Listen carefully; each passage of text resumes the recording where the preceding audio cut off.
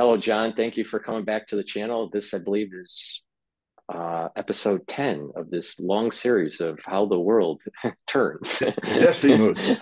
Decimus. It's like uh, the gladiator, you know, he was, I'm Deci- Decimus something, so the 10th. So uh, I, I, and the gladiator.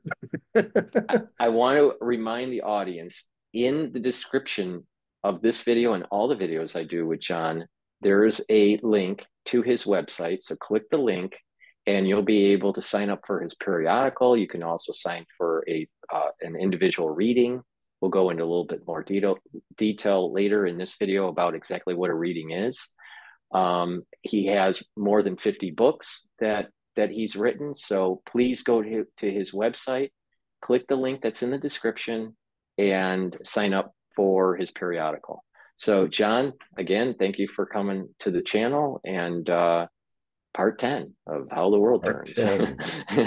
well, you know, uh, two weeks ago, it was around the time that I had uh, released uh, probably something that I'm going to do each year where um, I'll do a big release for the whole year of predictions.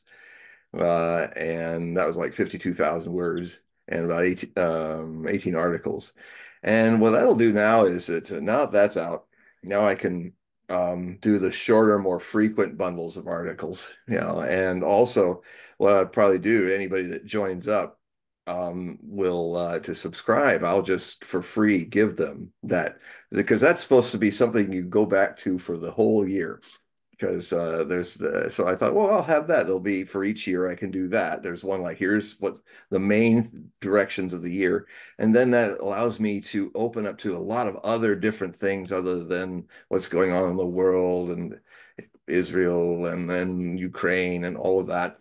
Um, and then I'll do I'll open each one up with a kind of a fast pace 800 word thing where I guess go bam bam bam bam bam on all those to just keep everybody up. Uh, uh, and apprised. So so that's the that's the new that's my New Year's plan for this year of 2024. I will probably do a a, a slightly larger thing for the predictions for the election, uh, which will be um, I probably would release that in October. So just to get that out of the way. Now, um, you know, in, in a way, um, well, some major things that happened. Uh, there was kind of a scare the last few the last few days when I think the thing that's happening now is that the war has gone into a new rhythm in Ukraine. It is um, it is now since Avdiivka fell. Um, that is the linchpin to the entire Ukrainian line in, in their eastern front. And ever since then, now the Russians have been gaining three times more territory all along the line than they did before. So it's uh, the Russians are, uh, as I predicted, are getting stronger and stronger as Ukrainians are bleeding themselves out, um, hurling their now, as I predicted, the um, very interesting thing is that when Zaluzhny was the popular commander of the Ukrainian forces was uh, graduated up to ambassador of London. Uh, he was fired upwards. Um, he was replaced by General Syrski, Alexander Syrski, and unfortunately, Alexandros in Greece means protector of men, but I would not call him that because uh, he uh, he's called uh, he's called the butcher um, of Bakhmut for and Ukrainian soldiers call him that because he he has this just one dimensional thing. If if he can't, he, just keep hurling more and more people and think that it's going to be a breakthrough. And he's actually responsible for a lot of the bleeding out of the Ukrainian army.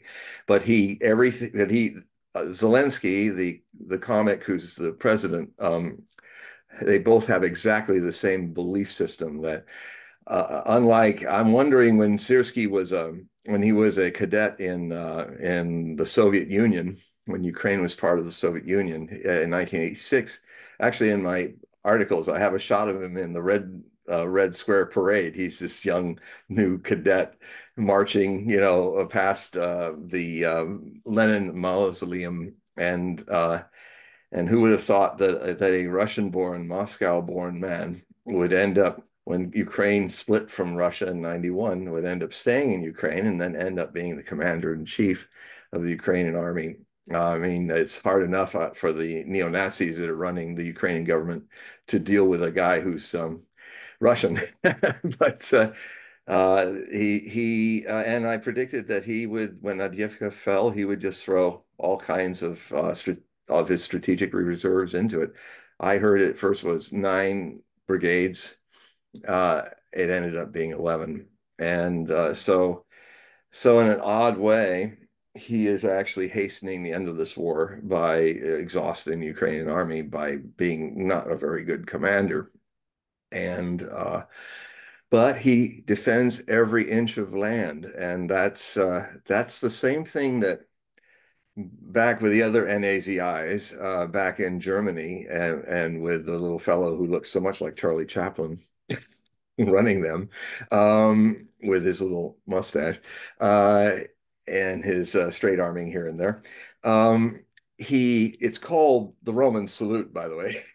That's how the Romans used to salute each other. Unfortunately, it's like the good luck charm of ancient uh, groups that became his famous symbol. Uh, that's kind of a crooked cross. Uh, that used to be all all ancient peoples had that magic symbol. It's a symbol of good luck. And if I ever were to write uh, my planned book about the that certain fellow, uh, would because he was also very notoriously good at predicting the future and i know this because there was uh, trevor roper and other other people uh, when i embarked to do this i, I realized that um, he had this ability to um, make a lot of prophecies one of his last prophecies quite stunning he just just a few days before he um, did himself in in the bunker um, he he had a nervous breakdown when he realized the war was lost. And kind of the last 10 days, he just gave up. And he, and uh, he said, so he's take to uh, Bormann or his his secretary who recorded this. He said, well, the war is lost and and Germany is defeated. And now the world will, our void will be filled by the two new superpowers, the Soviet Union and the United States. And he said, they they will now be in a big com competition to dominate the world. And uh, although it, they could go into a world war, I I think they they will compete more economically and politically than through warfare. Very interesting. But he uh, said, uh, but in either case, they will rely heavily on the German people as the cutting edge of this struggle.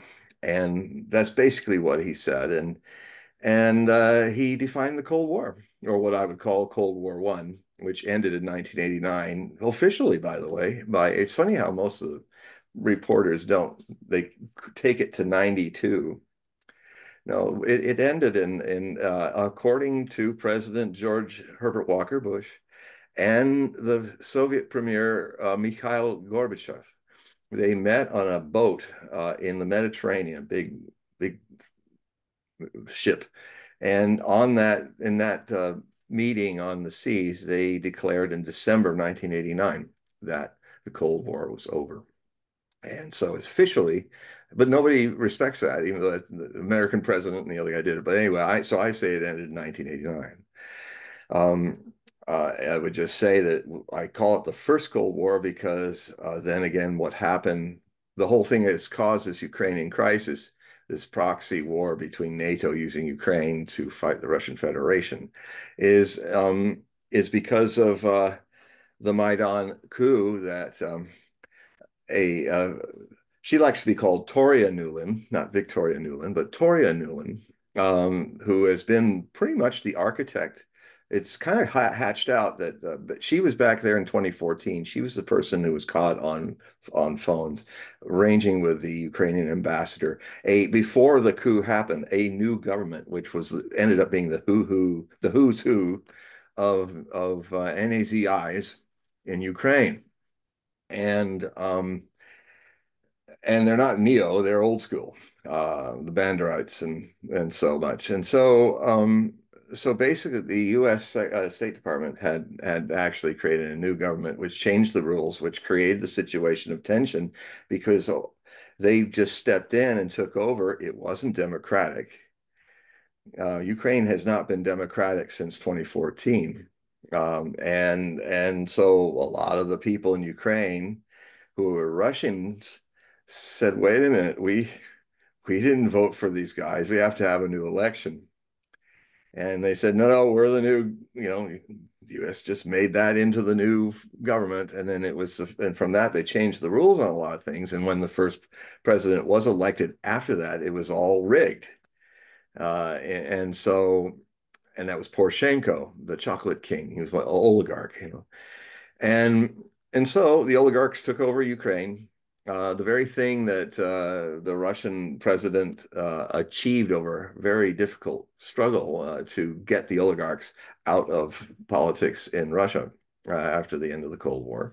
Well, anyway, uh, if you want to see what, what would have happened to Russia if he had not achieved this, look at Ukraine after 2014. And what then happened was there was a uh, Barack Obama and his administration then started to sanction uh, Russian farming goods as a punishment for taking Crimea and all that. Well, it wasn't taken. The Crimean people, when they saw their government didn't like them, literally saying, "We want to flush all you Russians out," and they were saying it to a a, a province that had been uh, Russian for 300 years um, as the Donbass, uh, Donetsk and Lugansk are also uh, Russian. And none, and a lot of these were thrown into Ukraine. We've talked about earlier that Ukraine's kind of a place where Lenin and Stalin threw in all these different people without their choosing, without any referendums, to all live together in a nation that none of them had united to create.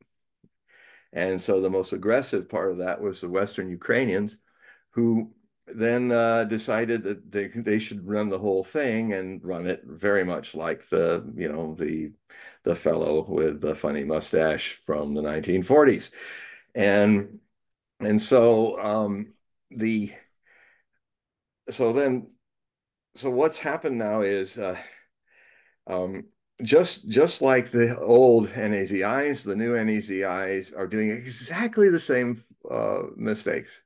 They're um, they're they're trying to hold on to every inch of territory. And as Frederick the Great once said in the Seven Years' War, um, that if you try to defend everything, you will lose everything. And so, and he won that one against a three front war the, the Imperial Russia, the Austrians, and the Holy Roman Empire, and the French were all going at it at three sides. And he was trying to fight them all. It was a three's a crowd, and ironically, he um, he had a kind of a good luck of the good fortune of having unexpectedly the Tsarina Elizabeth of Russia, of the Imperial Russia, suddenly had a heart attack and died. And so the Russians withdrew. So when he had just the French and the um, um, Austrians to deal with, being that he was a military genius, he took them out piecemeal and after seven years won the war but it was really like a now now um, what's an irony here is that there used to be a very famous painting of of Frederick the Great uh, with his steely bug eyes looking out, you know, and his little wig hat, and he's back in the you know 1750s and 60s and stuff.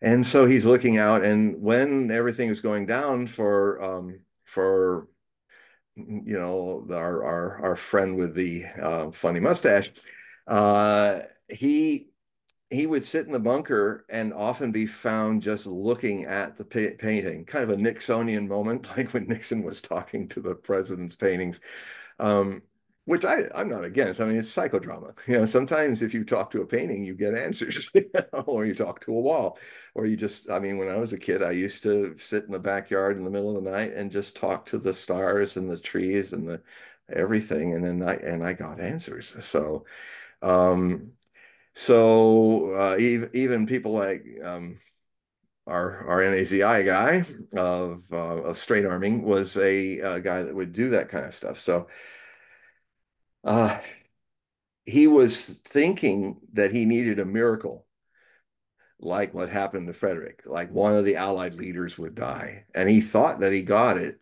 in um, in April, early April, when Franklin Delano Roosevelt died from aneurysm and he was thinking, "Well, this is it. Now, now they'll now the alliance will break up and we can win." Of course, it's way too late for that. Um, and uh, and like and like NAZIs of the past, NAZIs in the future and our present tend to look for pie in the sky miracles to get save them from themselves, even though they don't see themselves as a problem. But they, I mean, I mean, uh, it's it's quite a thing. Um, so what then is going to happen to raise this up a little bit is that um, we're in a period of time now between now through summer uh, where um, the, the the people to watch out for who could lose it are are not the Russians. Uh, they're they they know what they're doing.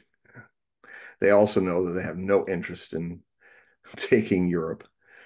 Uh, they've made it very clear about that if the Europeans were listening. My concern are the European leaders. And I was a little surprised at the one who kind of started a meltdown last week. And it was almost like, oh my God, here's the, just the thing that I is going to be popping up. Uh, Emmanuel Macron of Paris, of France, the president of France, um, suddenly out of the blue decides that, well, you all got to join with me. We got to march into Ukraine. And um, oh, but we're not going to fight in Ukraine. We're just going to maybe guard the, the border of uh, of Ukraine with Belarus, or we're just going to put a, a, checking group that keeps Odessa safe. Um, but we're not actually there to do anything. I mean, he's just this is how crazy it is. Well, if you're going to hold this or block that, and you've got guns, and the Russians are saying they again and again, if you go in, you're not any of you going to go out alive. Uh, you know, you are combatants. You will be. We've we have said to you do not send NATO into Ukraine. This war is an existential fight for us, just like the Cuban Missile Crisis had been. And so he was saying, don't uh, don't do that. And again, the thing is so dangerous. The Europeans just don't listen. He means it. Niet is niet in Russian. The Russians are Russians don't bluff. They tell you straight up what's going to go down, and then they do it. And the Europeans kept going, oh, okay, all right, all right. Oh, then they go in, they go, my God, what happened? he really did hit me back. Um, and the so Macron makes these statements. I'm thinking, oh man, is, is he really going to do this? But fortunately, he uh it it caused a riot in the leadership. Everybody, no, no, no, we don't. Germans don't want to do it. The only people that wanted to join him were the little mice that roar, the three Baltic states, who who are are very itty bitty, not even a million people in some of them, and with an army that's probably the size of a regiment oh, we'll join your coalition. Yes, you know, and like the um um the uh, Kali, the um kind of rhymes with goddess Kali. Uh, not a not a not a good name in a way. She's she's really a, a piece of uh, mental work. Um, she's openly often saying, "Oh, we can beat the Russians. We, you know, Estonia, little Estonia." Uh, is going to get the big bear, you know, and just it would be comical if it wasn't if this person didn't really mean it and so uh, now the problem is uh, the French military all were already sitting on Macron and saying, "Look, we don't, we can't do that." I mean, at best, maybe we could send twelve thousand and the British don't really have an army anymore. Uh, they couldn't even fill a uh, soccer stadium with what's left. They have the uh, the apparently uh, 100 of the jets don't work anymore. All the tanks are basically rusting. They can only send 12 Challengers because if they'd send any more, they wouldn't have much of a tank group. The French have already uh, lost all of their Caesar mobile artillery. It's all been blown up long ago in this war. And so anyway, uh, the uh, so the good news is that he got sat on, and then Putin made it very clear. He said he was talking about nukes. You know, he was saying, "Look, we don't, we will never shoot one. If it, if it's nuclear war, it's because you guys invade us." And then, you know, maybe we will use a few tactical nukes. We may, you know, we don't want to. That's not our policy, but and it never has been, even though you keep trying to project it upon us, like you're projecting your own desire to do it to us. And so, you know, we could very easily slip into a nuclear war if French troops openly go there. Now, what made you won't hear this in the Western news, but what made Macron so angry and to kind of lose it and want to get all Gallic pride and en avant, tout sweet, you know, uh, and charge with the bayonets and the, the cannon fodder, you know, uh, is Russian cannon fodder, but um, is that he, um, there was actually quite a military presence of French Foreign Legion soldiers, whole units that had just kind of decided together to officially leave the French Foreign Legion. But uh, they were all um, based in a large hotel in Kharkov, which is not too far from the Russian border. And um, when this, so what Russia has been doing to make its point behind the scenes is they have been missiling and hunting out all the NATO assets that are kind of in there pretending to be mercenaries or pretending in civilian clothes or hiding deep down in bunkers generals and i mean there's a lot of nato presence nato people uh, calculating the missile firing and just the ukrainians are pushing the buttons and you know russians have tolerated it because fortunately they're not hotheads and they realize that this could so incrementally they have been so they hit the they hit the um, a few weeks ago they hit the all the um, the legionnaires foreign legion in that hotel killed hundreds of them with a few missiles. And um, and uh, that really upset the French president because uh, and then he then he uh, then just uh, yesterday or day before there was a huge decapitation of, of that could have killed at least 60 NATO officers in o Odessa.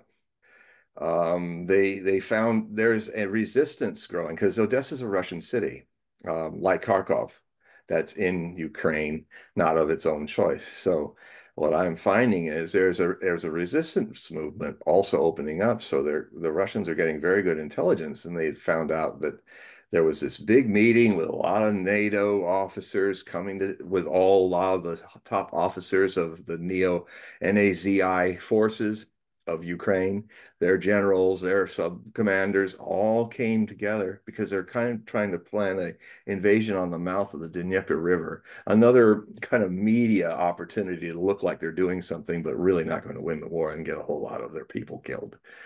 Um, and so um, and at that time, I think um, Zelensky was in Odessa with, I think it was Ursula von der Leyen or it was some other person. Oh, it was it was it was either Tusk or I think it was Tusk. It was the Polish um, head of state, I believe. But anyway, big NATO person, and they were driving through the towards the place, and you could hear the boom boom as the missiles started taking it out around noon was Friday, I think.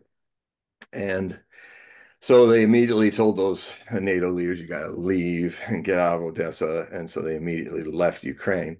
Because if they had, unfortunately, the Russian intelligence is good enough, they probably knew they were there and they didn't want them to be caught in, in, in what was about to happen as the meeting was forming. But basically, it decapitated most of the Nazi leaders and, and it's huge. And so, um, so what that means is that the, the proxy is losing. The proxy that's been trained for, for eight years to fight the civil war and then fight the Russians, the Ukrainian proxy is losing. And uh, it looks like we're on schedule for some big events to happen between April and May, where this might actually start unraveling the whole line. I've always said, and I say it again, when it unravels, it will be dramatic. It will be sudden. And uh, and they're getting closer and closer to it's just like an avalanche with a few pebbles. Oh there's some movement here and you know, i wonder what's going and then suddenly goes woof. Well that's that's what's going to happen and when that happens that's when the world's really in danger not from the russians but from nato and and the president and the, because it's elections time and all and so people in the nato and united states leadership are panicking and also some of them are getting fired. Some that i'm really glad to hear are getting fired like toria Nuland, who is the uh, architect of the second cold war. She's the one that helped it happen. But she she was um, not retired. She was fired because she was doing crazy stuff. In fact, um, this whole this whole other thing that's happened over the weekend, just uh, during the Russian elections, to try to distract the Russians and the world from the fact that Vladimir Putin was going to win a landslide. It takes no Nostradamus to predict. i have been watching the Russian news, and uh, there are four parties, by the way, beyond our little two-party system. They all were running. There's even the Communist Party uh, even though it's just 20% now. Um, and uh, Putin won by 87%, which is quite. And by the way, I was watching it. Um, the 50,000 polling places across 11 time zones in Russia, all of them have videos watching the entire progress of how people count votes. It's all in paper, folks. No, none of this um, none of these uh, magic computers that have no uh, paper trail. It's all the basic. You come into the poll. They take three days to do it. Everybody picks, puts it in the box, and goes home like we used to do. Uh, the Russians have one, and there were 700 watchers. There were from 100 countries. They had something like over 700 uh, people who were across the place, and some of them were interviewed. There's like a whole army of people from out, uh, Africa, all other places. You're um, not in the West so much, although some of them are some of my sources. They were actually volunteers, some of the journalists, to be there, and uh, you know, Russia. It's amazing to watch a Russian election. It reminds me of the way we used to do elections when I was a boy. It's a while back you know, I was born in 1955. So, I mean, I remember, I remember when how it worked, and I've also watched how it's been destroyed. So it really, it really gets me when people say, "Oh, they're uh, democracy." So I'll look in the mirror, Mister and Mrs. America. Look what's going on around you. You're not a democracy anymore. You are becoming a fascist state. And uh, that's really sad because the first way that it comes is when you lose your fourth estate. There are three basic estates uh, in the Constitution. There is the executive branch. There is the U.S. Congress with its two wings. The, the House is populist. It's supposed to be because it's representing by population. The Senate is a counterbalance and it does it the work slower uh, it's not so easy to pass through them because every state has two, are equally, whether they're Rhode Island or California, have only two senators. But so the pop, the population, the mob mind can say what it wants in in the Congress in the House of Representatives. The but then it has to pass through a, a very good check and balance. So those are the first two estates. The third estate is the Supreme Court and the justice system who continue to make sure that the Constitution is uh, followed through precedent, not through other ways. It's, you know, for people who want a, a really efficient democracy, it's got another name, fascism. Uh, fascist states are very efficient because it, the you know our our founding fathers and mothers, you know, um, Abigail Adams, um, were were people who understood that it has to be messy because democracy is messy. It's just like what Elon Musk is doing with X. It's quite a wonderful thing. It's the, of all the main major um, um, public accesses that have been overtaken by privatization, like Facebook, like Google, like, and so on and so forth. And also X for a long time when it was Twitter was really bad. Um, well, he's opened it up. And yes, if you're just kind of open ended looking at X, what's going on, you're going to run into all kinds of things that make you cringe, like people fighting and I don't know, uh, people falling down in stupid ways and and all that. But I keep it wide open because that's how I, after an hour or two of watching it, I catch things and then I can mm-hmm. go. But it's wide open and it's, uh, yeah. I, let, let me just interject, John. So I, I, I totally agree with you on this whole branch of government and there. the way I see it, and I've I've done a couple videos about this. I've been playing um, some videos and critiques on uh, Niall Ferguson, all right, mm. and he's been doing some lectures about constitu- constitutionalism and rule of law and the judicial branch, and you know, so I've been watching that kind of thing. And I've been also watching some videos, uh, uh, some rabbis talking about current events. Hmm. And what is interesting, it seems like, you know, Niall Ferguson, which is a, a Scot guy, you yeah, know, yeah, I used, guy, to, I know, used to read him. Some, he used to be a source yeah, of mine. Yeah, yeah, yeah. I, I, think he's a great, great historian. He's like he he he he straddles that economic and historian um you know both genres. So, so I think he's, he's mellow. He's, a great. He was kind of. I think he worked for oh, Newsweek. Yeah, and when he was with Newsweek, uh, he was kind of. Uh, I I often would go to him to kind of get the the crazy right wing version of things. Well, I mean, you know, he's you know you know he definitely you know, he he, he with a British flair. yeah, you know, well, Scot, yeah, yeah, Scottish, yeah, yeah, yeah you know, but but you know, he he he had Didn't include Scotland, conserv- by the way. you know, yeah, you know, but he had it. He had this. He had this kind of uh, conservative aura about him because he was most of the stuff that he did. His early work is really economic related. Mm-hmm. So a lot of people made the, and I did too. I thought he was an economist at first, and then I realized he was a really historian that yeah. was focusing on economic dynamics that yeah it wasn't his strong forward. suit. He got when he got wrong on a lot of things on the economy. I had to kind of watch him with a ten foot pole. You know, well, I I did meet him at a couple conferences. Oh well, through through through INET. Um, but but um, so it was cool. But but I was critiquing some of his work about um, in a positive way about constitutionalism. So when you're bringing up these branches of government, how I see it, hmm.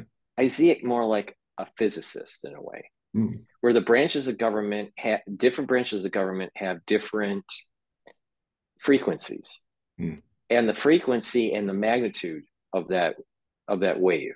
All right, so there's this you know wavelength and a frequency, right? So uh, the Senate you know they you know they're in office for six years unless something happens right so they have a different frequency than let's say the Supreme Court, which is lifelong. Yeah. All right. Or the executive branch, the, the White House, where it's four years, or mm. the House of Representatives, which is two years, right? Yeah. So, so you know, there you have these different frequencies, but also you were bringing up, well, you have two representatives from each state in the Senate, but then different number of representatives based on the population density from the mm-hmm. census in, yep. the, in the House of Representatives. So mm-hmm. the magnitude changes based on the number of representatives. So, so there's this combination of magnitude and and frequency, and fast and how that and slow pace. Eh, yeah. Right, right, right. And and with the fourth branch of government, that's at a much higher frequency. It's day to day, boom, boom, boom, boom, boom, and you know it's higher fire. You know, with these. But the fourth these, is is it, it expressed directly in the First Amendment of the U.S. Constitution is the free press. So you and have these don't have that anymore. Right.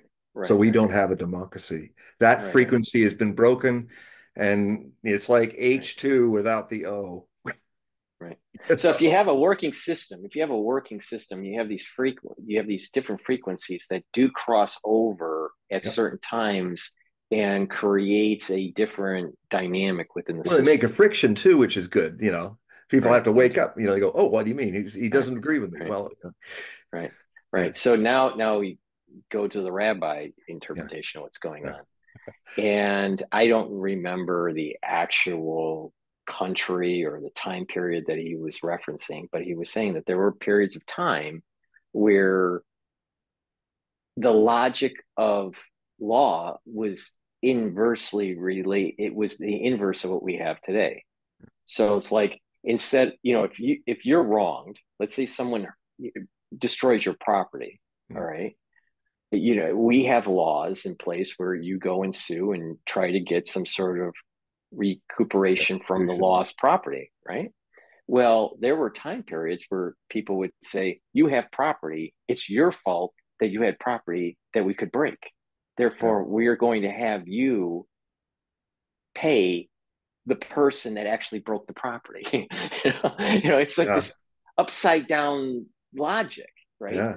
And I'm I, I think that the rabbi's right that we're moving into kind of upside down world. Or yeah, rabbi's news, right. you know, newspeak in 1984, yeah. and it's like everything's upside down. Well, what is woke? So, woke yeah. is this. You know, it's like uh, you know, if a person says, and I often playfully in my articles, I I try to help people understand how woke may. For for one thing, woke, um, you can't it, it's trying to say I woke up. But if you really understand from my experience of being with uh, Osho and and India and living with a master, there's only awakening. It's a present, it's a it's not a noun, it's a verb and it's present tense. And if it's woke, it's as dead as the last moment. And you can kind of see it's like, well, I woke. So it's like, I woke. it's like, well, okay, I don't know, pretty dead right now, but you know, it's like, um, so, so you know, people suddenly start. I mean, this is where the, the quote of Gurdjieff is really good. The George Ivanovich Gurdjieff, one of the greatest mystics of the 20th century. He was a Greek Armenian citizen of the Russian Empire, born in 1866, and I think he lived. He died in 1949, living in Paris um, with his uh, classes. He does the these does these great dance meditations, and he's famous for his his uh, books like "Life is Only Real Then When I Am," or "Meetings with Remarkable Men." When he was searching with this group of truth seekers, Russian Empire across the board, men and women who were going in these amazing adventures to try to find what was left of spiritual um, teachings and stuff as the modern world was overtaking it, even in Siberia and Russia and all of that. And actually, there's a really good movie, uh, Meetings with Remarkable Men, that uh, had Terence Stamp in it, who played the the the Russian prince who was kind of heading the group, and then Gurdjieff was young then, and so that's a very good movie. It was filmed in Afghanistan in 1979, just before everything unraveled.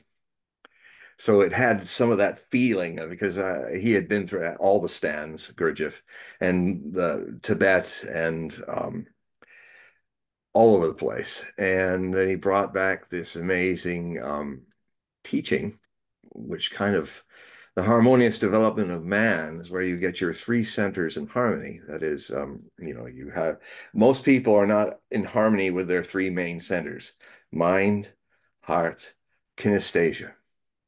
And so your gut, you know, and so uh, your gut feeling, your intuition. So most people, that's why people have a hard time talking to each other because I might be talking to you with my heart, but you might be thinking about what I'm saying rather than feeling what I'm saying. And then the gut is out to lunch somewhere else. Or you're you're you got your gut going with your mind and you think you got a good idea, but you're you're not hearing the emotional impact of the consequences that the person is saying in the communication. So yeah, the, the whole idea was to uh, bring attention to to your life uh, moment to moment and it was odd because the moment i was initiated in 1980 from osho in india Bhagwan Shree Rajneesh, and he uh, I became a disciple. I felt compelled the next morning to go to the five star hotel next to the ashram and go to the bookstore, and I was pulled to buy Meetings with Remarkable Men. And I really didn't know why, but it just I, I would follow my intuition as I do as a medium. And I realized, so I started reading Gurdjieff, and all the time that I was reading him, because the reason is that Gurdjieff and Osho are di- the way they express the same truth is diametrically opposite. Gurdjieff was about the work. that you and he wouldn't pick he wouldn't be open to a whole multitude of disciples his his way was to not waste time with people or just you know the one in a million that's going to get it so let the rest of the million go because he just doesn't have time he's going to work on a handful of people because it's a very important thing in consciousness that that um, as i've uttered before in these shows uh, that um, consciousness is a quality that counterbalances the mob mind of the minions the unconscious mobs and so, uh, you know, I've been saying how, especially now in this period of time, it's very ripe for this thing to happen. That we need another 200 people who are um, harmoniously developed. You know, where their their mind, their heart, and their kinesthesia are, are all working as one, and then something beyond those becomes the alert witness of things. Now, his way was to go through work to find like clench the fist to find the relaxation because your fist can only be clenched so long and it's more about working it out than uh, it's not a goal what you it's like buddha also was working very hard like gurdjieff in when his uh, attempt to uh, he had been a hedonist for the first part of his life and then when he broke away from wife wife wine women and song and palaces and being a king or prince he just did the other. He was a you know he was born under a full moon of in uh, May, so he was uh, so he was a uh, had a Scorpio moon. You know, death and regeneration versus Taurian, earthy pleasures. You know, property things to no things, nothing, naked, watching, no, no eating, everything. So he he was basically a fixed uh, sun sign and he went uh, into in astrology, and that means he went from one extreme, hedonism, to another extreme, asceticism. I can never say that word right. Um, aestheticism. Anyway, I can't say it. Uh, it's where you beat up your body and and mortify your flesh to find God in that regard. And and then he finally just, after 96 years of that, he he uh, almost drowned in a little brook. He was so weak because he was skin and bones and and he he just had crawled out of this little brook back to his bodhi tree uh, to sit there and he just mused uh, if you if you tie a sitar string too tight it breaks if you have it too loose it cannot play music and he began just before his enlightenment to kind of figure out that the middle way is the way neither this nor that and now some masters go bring you to it through a, lot of activity and only choose the few. Now, my master was a complete opposite. His was the path of let go, of just take it easy, let go, a more Taoist path, watercourse way. But the interesting thing is that you end up in the same place. The, the people who, I would contend, the people who work to get there kind of did what Buddha did. They, they kind of exhaust the seeking. And then when Buddha that night gave up, he just gave up. He ate he ate some food. He went to sleep after years of not sleeping properly. He, he woke up. He said, "There's no eternity of the soul. I, I just give it. It just I tried my hardest. I so he let it go. He let go hedonism, and then he had to let go working at it. And because, as he would say in the 42 years that he taught after that, everyone is Buddha nature. That is awakened, not woke awaken Buddha nature. You are, whether you know it or not, this very body is the lotus paradise, or this very world is the lotus paradise. This very body is the awakened one, the Buddha. It's it's not something you can achieve. It's something that you can only at last, in the right moment, understand. And sometimes you have to fight real hard to find it to discover that that's you you then get into your exhaustion and it's not just an intellectual thought there's some people go oh well you know i'm it's they're just they're in their heads they're they're people who eat who want to eat pictures of rice cakes as the zen masters say and the problem with a rice cake that you eat that's on a piece of paper and a beautiful painting is it's not going to nourish you. And so you can, if you're just using your mind, not your heart and your kinesthesia in harmony, you're you can you can think, oh well, I, I've got the solution. Um, I must already be a Buddha, and therefore I uh, need to stop working at it. If it's intellectual, if it's the picture, not the reality, but a picture of it, you're as far off from it as even worse. And so many people, as Ramakrishna used to say, so many people uh, with thinking, with getting intellectual about the spiritual pursuit, with being enamored with occult mysteries and practices. He says many of them are on the on the roadside, on the path, the pathless path. And every anybody who spent many lives trying to chase after the Buddha will never will will be pre predisposed not to look in, but to think the Buddha is over the horizon or that somebody out there is going to give it to them. And in, in, odd, in odd ways, sometimes you do have to go somewhere unusual. I had to go to India. So it's not, it's not a, it's not a binary thing. Well, oh, it's wrong to seek. Osho sought immensely, and he had kind of a similar thing to Buddha. He just, at one point, he just stopped he said, I, I, it's, I, it's not there. He had the same thing. And then he went to bed and then suddenly this vast thing happened to him that he had to run out of his room. It was on the 21st of March, 1953, when he was 21. And he had, he had to get out under the sky. Otherwise it, he would be killed by having this immense energy inside this room and his, where he was sleeping. And so he went, I think it was in uh, Jabalpur at the time. And he went he, which is a central location in India as a city, he went uh, out into a, a, city park and he noticed that the maulshree tree is a beautiful kind of shady tree. Uh, was glowing with a special aura, and he sat under it. And then he said, as I, I can understand what he was saying, he said, suddenly everything descended. He was like seeing, he could see the light of the sap. He could see the life in the trees. It, it was, uh, and then he, as he sat, the whole thing settled and descended in some vast, eternal, in the present grace. And I mean, a similar thing happened to Gurdjieff in the middle of nowhere, somewhere in the stands, you know, somewhere in Central Asia.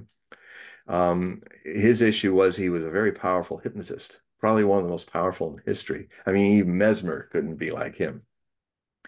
And and I I really Gurdjieff has this weird way of if you read him, he's got such a strange delivery, and it's for effect. If you read like Beelzebub's Tales to his grandson, which is one of his main books, you you you have to remain attentive. Eh, you have to read it and remain attentive. But it's like what often would happen is after I finish a process, I would kind of, kind of collapse in my bed and then it really would be happening. You know, it's like it exhausts the mind for me. Um, and so to create a let go. And so, I mean, Osho did a lot of, created a lot of meditation techniques, which I, um, eh, you know, offer to anyone who does a reading with me. Uh, they're usually about 90 minutes or more. It depends. I do at the end of my day, so it can go as long as it needs to go, uh, or as short as it needs to go. And uh, so but uh, sometimes a lot of the people are interested in, in and I talk about these techniques and how they the uh, Osho was trying to create a, a, harmony between the let go and the and the effort um, and his way would be these meditations that are one hour with four parts usually and where you have active parts uh, that get less active and less active and kind of kind of create a space for you to throw out all the uh, ambitions and all the dust of the day and and then when the final 15 minute part happens it's the part that most people start with in the in the west the mindfulness people where they say oh just sit there and watch your breath. People of the 21st century can't do that. That's not at least how you start. And because and uh, any of you who are listening who've done mindfulness and all of that um, you, I, if you're honest with yourself, most of you left it because you tried hard to be quiet. You tried tried hard to be mindful, and you succeeded. You're full of mind. Meditation is no mind, fullness. It is to give it a name. It's the absence of mind, something that's deeper than the mind. The mind is something look uh, did you have a mind before you had a brain i mean when you were born It's uh, it's kind of a question that uh, you know, when if you really look back of all the things that you think define yourself as a person, a persona, um, in your process of being conditioned into being in life and living in a world of dialectics and and comparison and a linear life from here to there. You forget the vertical that you were born with, that is forever deepening and forever rising. So that's why it has that quality of verticality. And and what happens is you um, you lose memory of the, the the Buddha. You come in as a child, the innocence of Buddhahood, but not knowing what it is. So it's easy to miss because it is so ordinary. It is the most ordinary thing in existence. And because it's so here now, always, that's so this very body, folks, this very place, you know, and they go, what? No, not New York City. No, that can't be it. Not, not Seattle, not this, not Bombay. It's all noisy and people are fighting. It's dirty and smelly. But no, it's like, yeah, yeah, no, it's this. Um, and so the mind, it's so against the way we're programmed over many lives because you got to do something. You've got to even Buddha, even people in India, got to do your yoga. You've got to do this. You've got to do that. And in a way, it has a function. Um, you know, this fight with the world of appearances, trying to use it to find something that's beyond the world of appearances. Um, if you do it totally, you might discover in the process that it's the ultimate disappointment. And uh, that's good because um, you cannot become something you already are. So then, then the work changes. Then it's more like, okay, you take up the hypothesis. All right, I don't feel like I'm a Buddha. I feel like an idiot. Um, in the true sense of the word, one who is un idios, one who is under the illusion of being separate from the whole existence. As an ego, as a person, persona means mask that's a mask over your innocent Buddha that you were born as.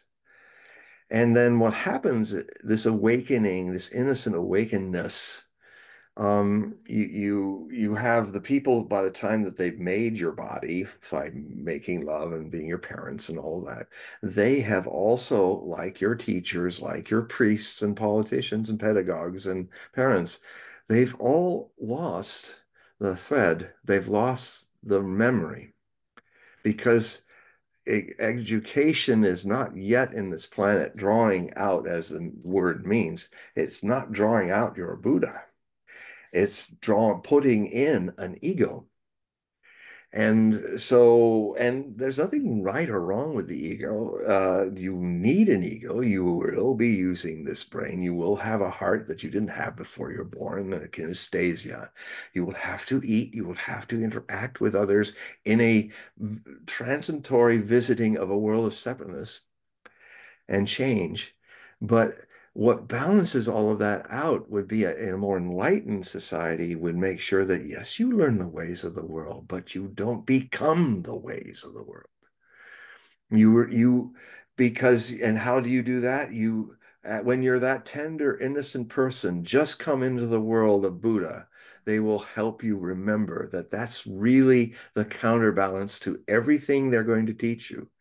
And and and that's and then you find a balance between so you use your ego. You can't drop an ego. You can't drop your mind. If you did it'd be go splat on the floor and you wouldn't be able to do anything you know? So it, it is but you can drop you can understand identity. You can understand how you've been made to identify with things. Like like if i'm getting into my car i'm the driver um, it doesn't function without me being aware and driving it. But if eh, so, it's like, okay, you've come into this body as a child. They're going to talk about the driver of the child, the, the light, the lux aeterna of the child. That, that, that is spontaneous intelligence. that will use the skills that you have, and you'll learn not to get frightened and and I mean, there won't be people kind of forcing you to compete or be anguished or all that because in that kind of society, if your teachers have not lost their Buddha, they're not going to turn you into a neurotic person. They're going to help you at least not to become one, and you'll have a much better chance in this in this life because everything is out oriented. Um, everything is find it over there rather than the fact that you have the whole treasure already, um, even as a hypothesis, is is a way to keep you um, always running around and around circles of samsara, life after death, after life after death, and and you know you then it's like I was just reading again, like Osho was talking about reincarnation, and I've, I've spoken about it in other shows, but I actually read the whole passage again to refresh my mind of what he was saying. And um, I mean, basically, the real secret of reincarnation is that it, enlightenment never reincarnates. Um, mind reincarnates. Personality, you know, it gets under the illusion of an of an attachment, holding on to it in some very subtle way. Um, people then try because it's all they know is their ego. Each life they try, or what happens is they die and their ego is destroyed, and all the thoughts are thrown it's like it's like radio waves. Um, it's like he was saying that Buddha understood. He said when the witness gets caught in another womb.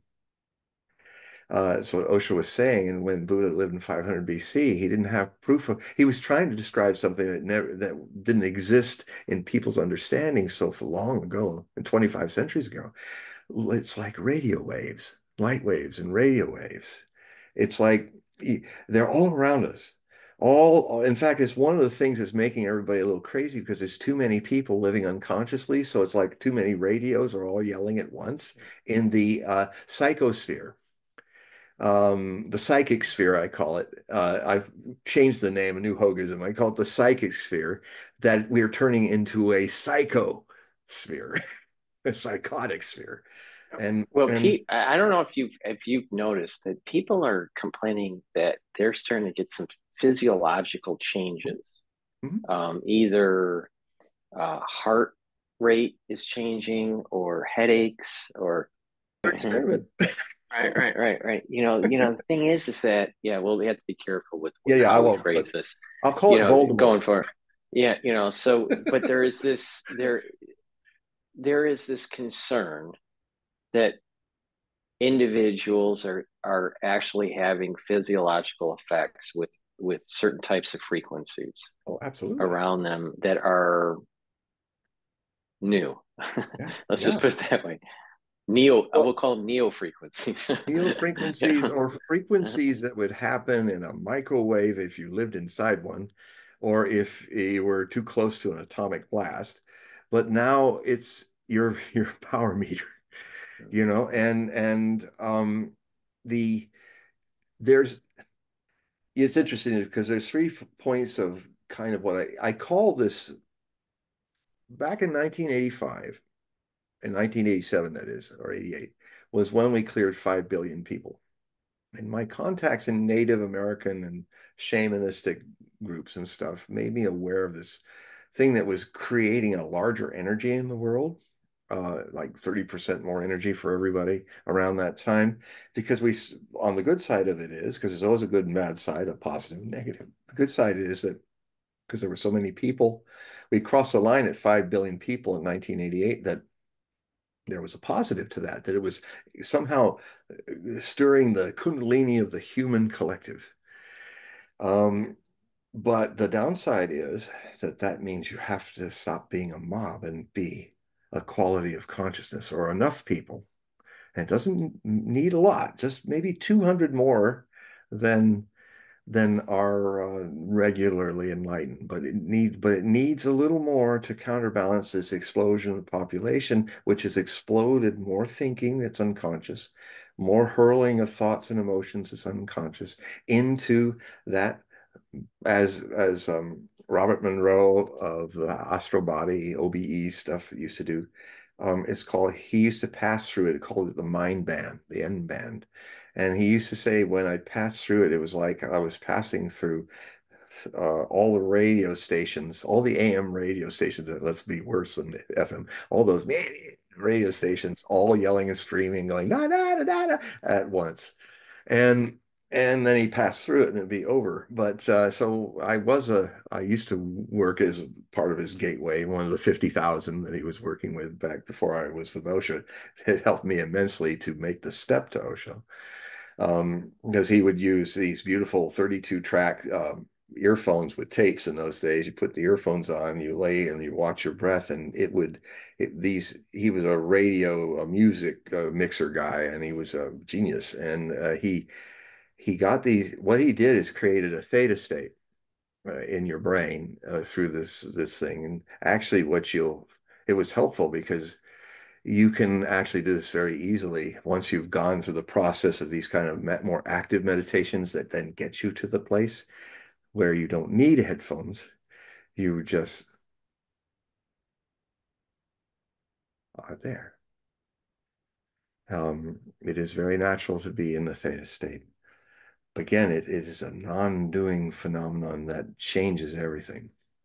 It's, a, it's nothing, non-doing attracts mysteriously great activity in creation.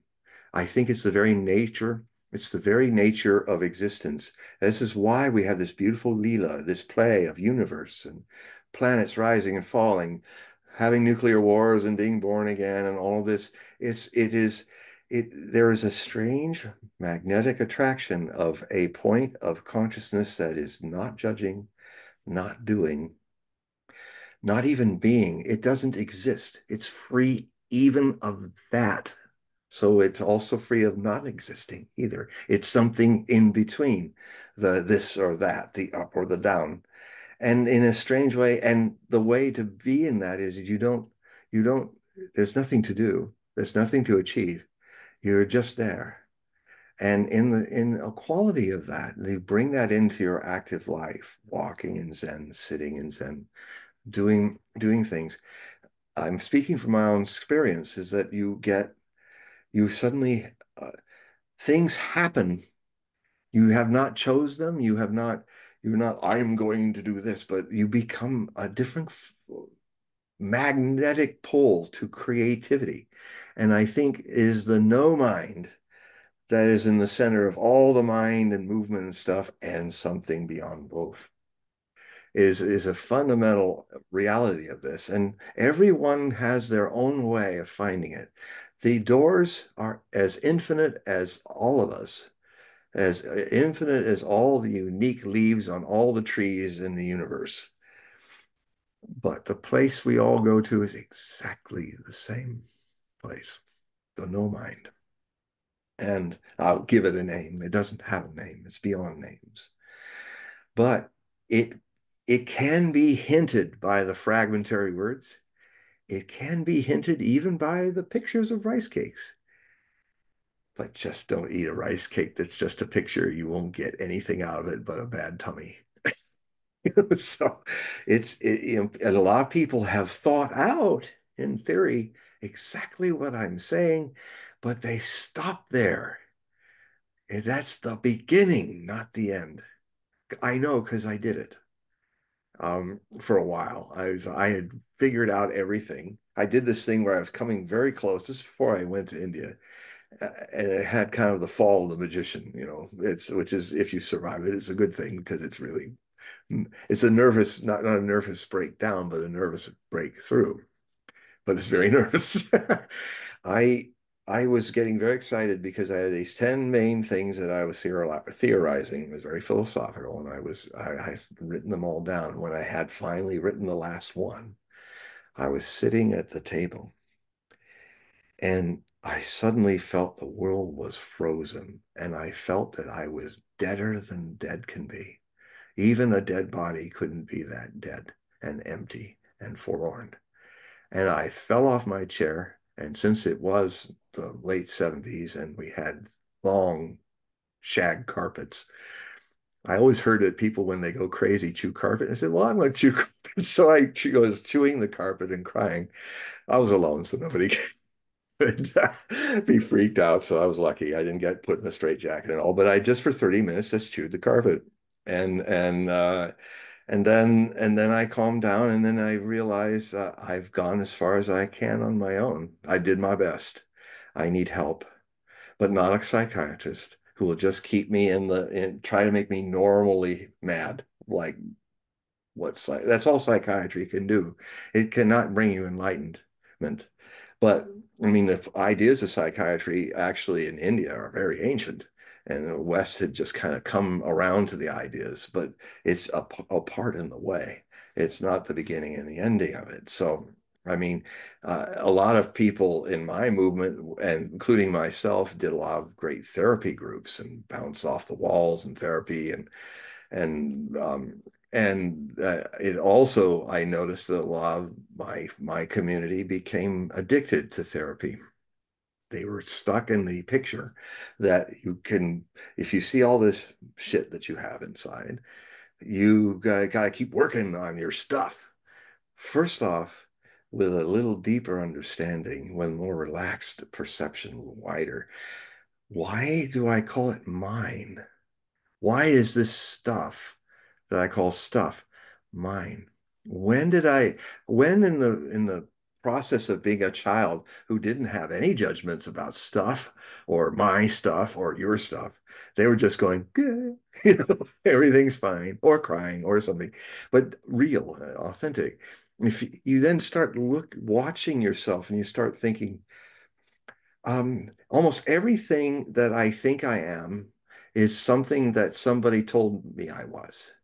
I, my empty page, my tabula rasa, as yours and everyone else's, came into the world empty.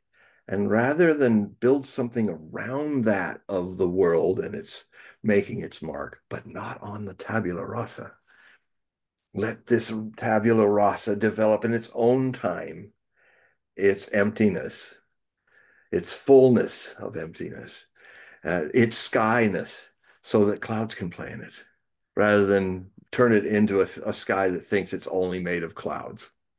And it yearns for the beautiful wispy clouds and the white puffy clouds and the beautiful sunrise and sunset clouds. It's afraid of the hurricane clouds and the typhoon clouds and the lightning storms.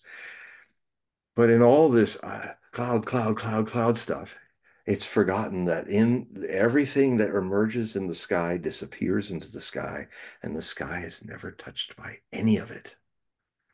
There is so that is not taught as a guidance a hypothesis for each child to follow and because of that the things that were given to be used, we are also taught to identify with them. For instance, I was in my car a few moments, a few minutes ago.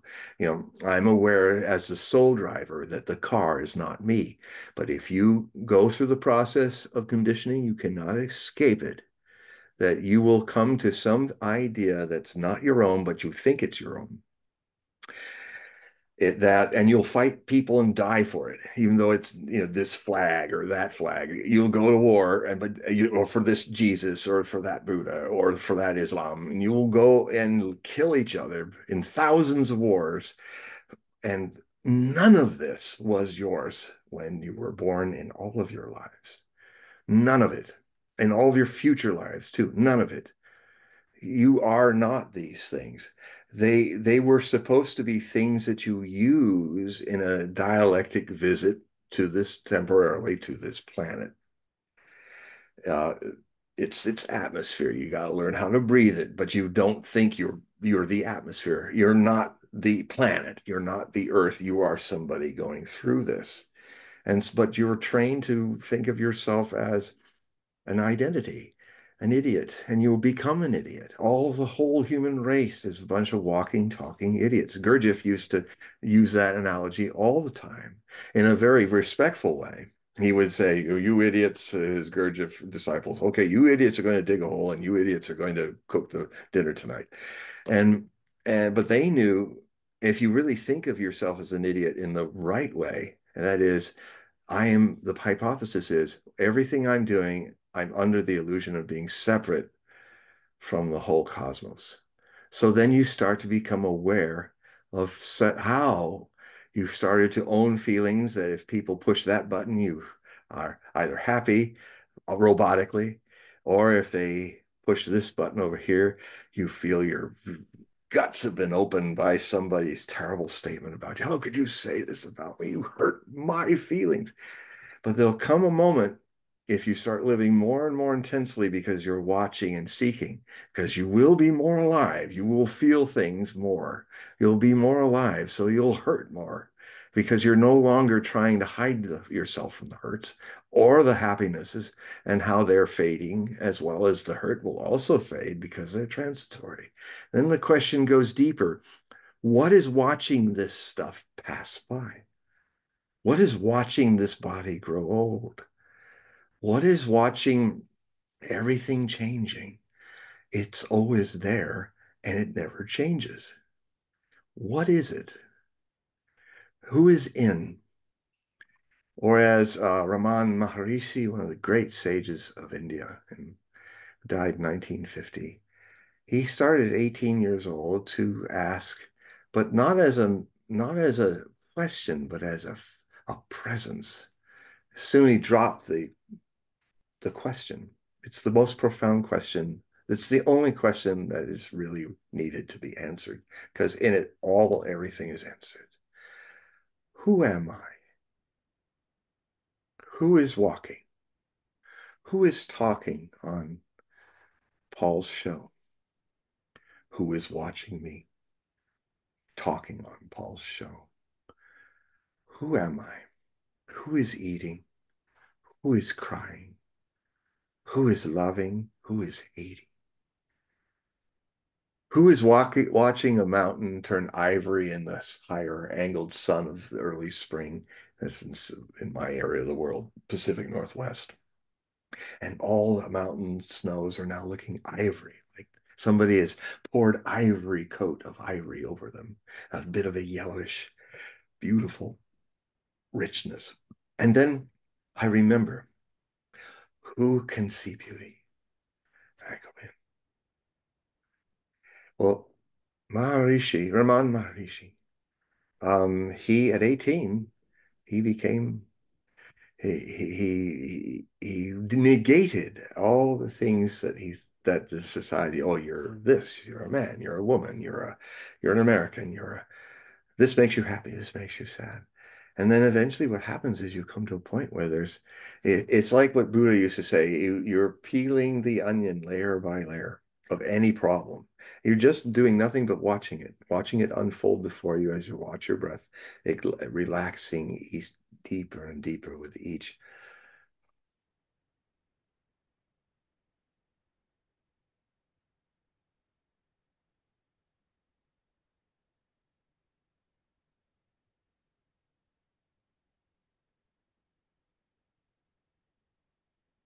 and then you allow it to the layers of the onion of of feeling hurt by someone who you expected to love you would not say that.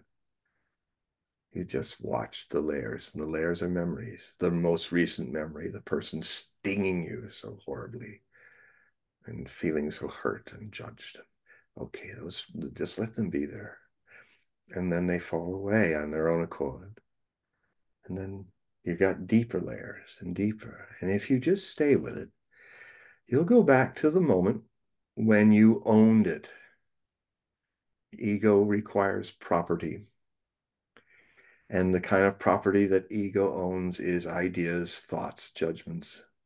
And and then the um, the um, the mortgage is identity.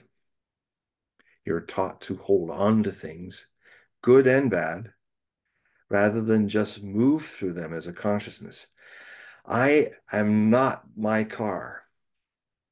But if society trains you the way they want to in their own unconscious motivations, between the age 7 to 14, either at 7 or at puberty, you're going to suddenly find big changes happen where you forgot the soul driver. You put him over there, and you've been taught that you are the car and no one's driving it. You are the the car drives itself. And that a car without a driver thinking it's driving itself, well, just turn on the ignition, get out of your car, let it start rolling and see what happens. It's history, baby. It's history. This is this is the the main theme of history. It's like great empires. You know, they they go. They're like a bunch of cars that were just let loose, and they'll go. Sometimes they're lucky and they conquer this and that, and other times they run into the Goths who are coming over the border like people are coming over our borders in exactly the same way, and the empire falls the car crashes, the collective traffic jam crashes, collective traffic jams of people pretending not to be, pretending to be cars are how we start our wars, our crusades, our witch hunts. You know, this is our sorrow when our when our baseball team or football team loses, all the cars crash, boo hoo, we lost. That's more not so dangerous. but if you think you're Ukrainian, and if you think you uh, you are the pure uber Ukrainian and the other Ukrainians need to be taken out of your country, then you go into wars. If you think you're you're NATO and you think you're a defensive organization, you even say it. It's in your it's in your charter. But if you're encroaching across Europe when you promise not to, to the Russian people, who, as a body of people, seem to have a more collective connection to the soul than a lot of us. It's an interesting. Don't believe me. Don't believe or disbelieve anything I'm saying. If you believe it, you're lost to it. You're you stopped. So even if you say, "Yep, John Hogue's got it all together," you stopped. And it's equal to, "Oh, he's crazy he's a madman. It's, you stop. I don't believe him. I do believe him. Belief is the worst thing that has happened to the human race as a conditioning. Because what is belief? It is a, if you meditate on it, well, how do you believe? You just watch the process. How do you become identified as an American or a Jew or as a Christian or something? It's you somehow in the in the kind of the need as a child to be loved by all these big giants you've discovered yourself born amongst you're going to you're going to start you, know they reward you if you behave in certain ways they even tell you look you got to grow up in the world. Growing up means you have to be like us. So you know do what we do. And uh, not how not what we say. You know don't do uh, do as we say not what we do. And um, and then you learn how to be a liar. You learn how to be a manipulator. You have to because it can save your life as a child. You know if you're not uh, our survival mechanisms uh, have their part in the world. Actually just like war has its part in our world just like peace you know two sides of the same coin. Now there comes a point when your survival mechanism screws up your life after you've it's worked to keep you from not being thrown out in the streets when you were a kid because you compromised all your intelligence to be, you know, to, oh, I'll go to church. I don't know what that is. It doesn't feel right. But, oh, I, or you'll say innocent things that get you thrown in the bedroom without dinner. You know, innocent intelligence. Go to your room. Uh, those are the moments when a Buddha is suppressed. Go to your room and so you you know children are smart enough uh, they, they want to survive so they try to they think it's they, they're told it's called love if you submit and fear god like you fear your father and mother and and and and then you uh, end up and and it's not their fault. It's this is the one of the biggest cosmic jokes about it. You line up all the criminals of history and all the people who are either murdered by them or followed them. You you can't be responsible.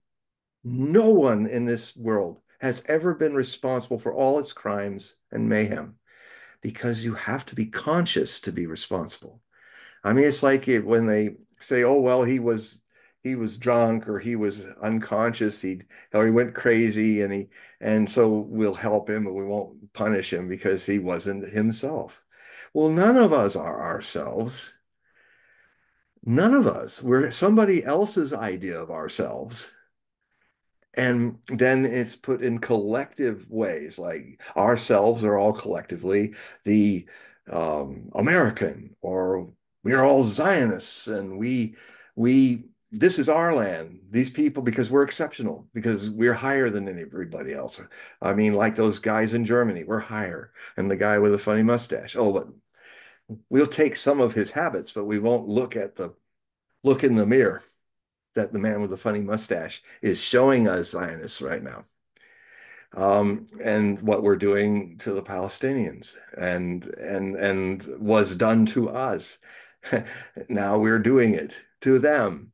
Um, you know, this is the funny way identity plays us, plays us. Not uh, we're not playing with it; it plays us, and and you can you can only the way out of it is to rediscover that that thing that you have lost, that Buddha that was born in the baby's body, into a world that if it could remember what it was like, they would certainly not do the harm they do in the name of drawing out education.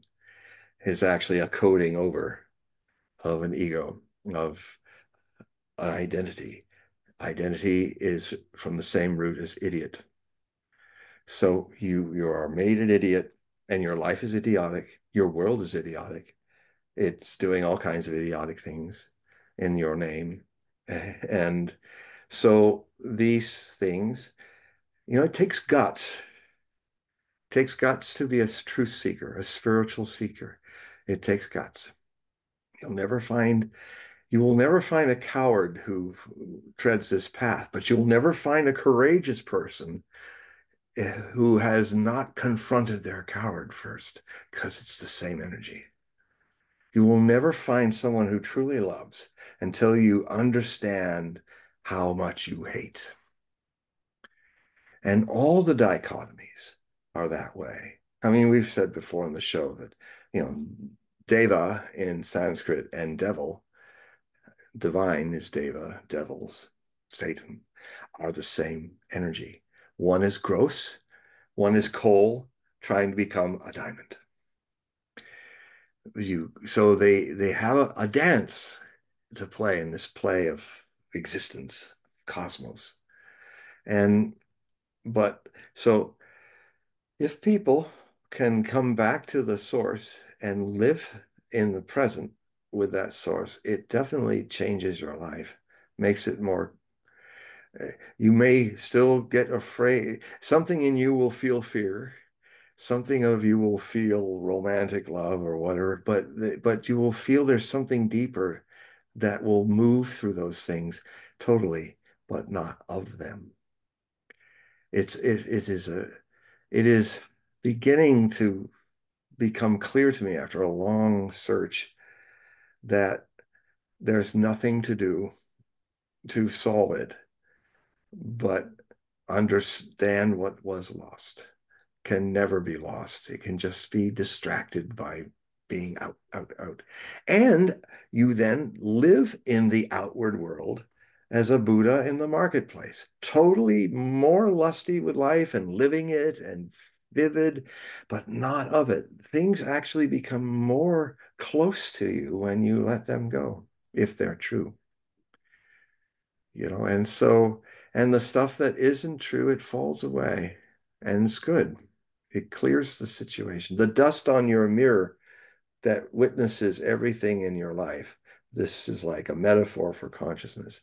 Most of our mirrors are covered with dust from our conditioning of, and so we see the world through a Christian dust or a Muslim dust or a Democrat dust or a Republican dust.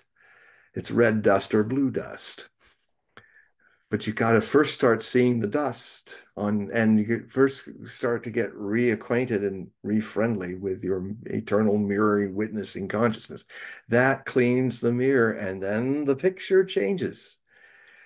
Now most people live in a cage with the gate open.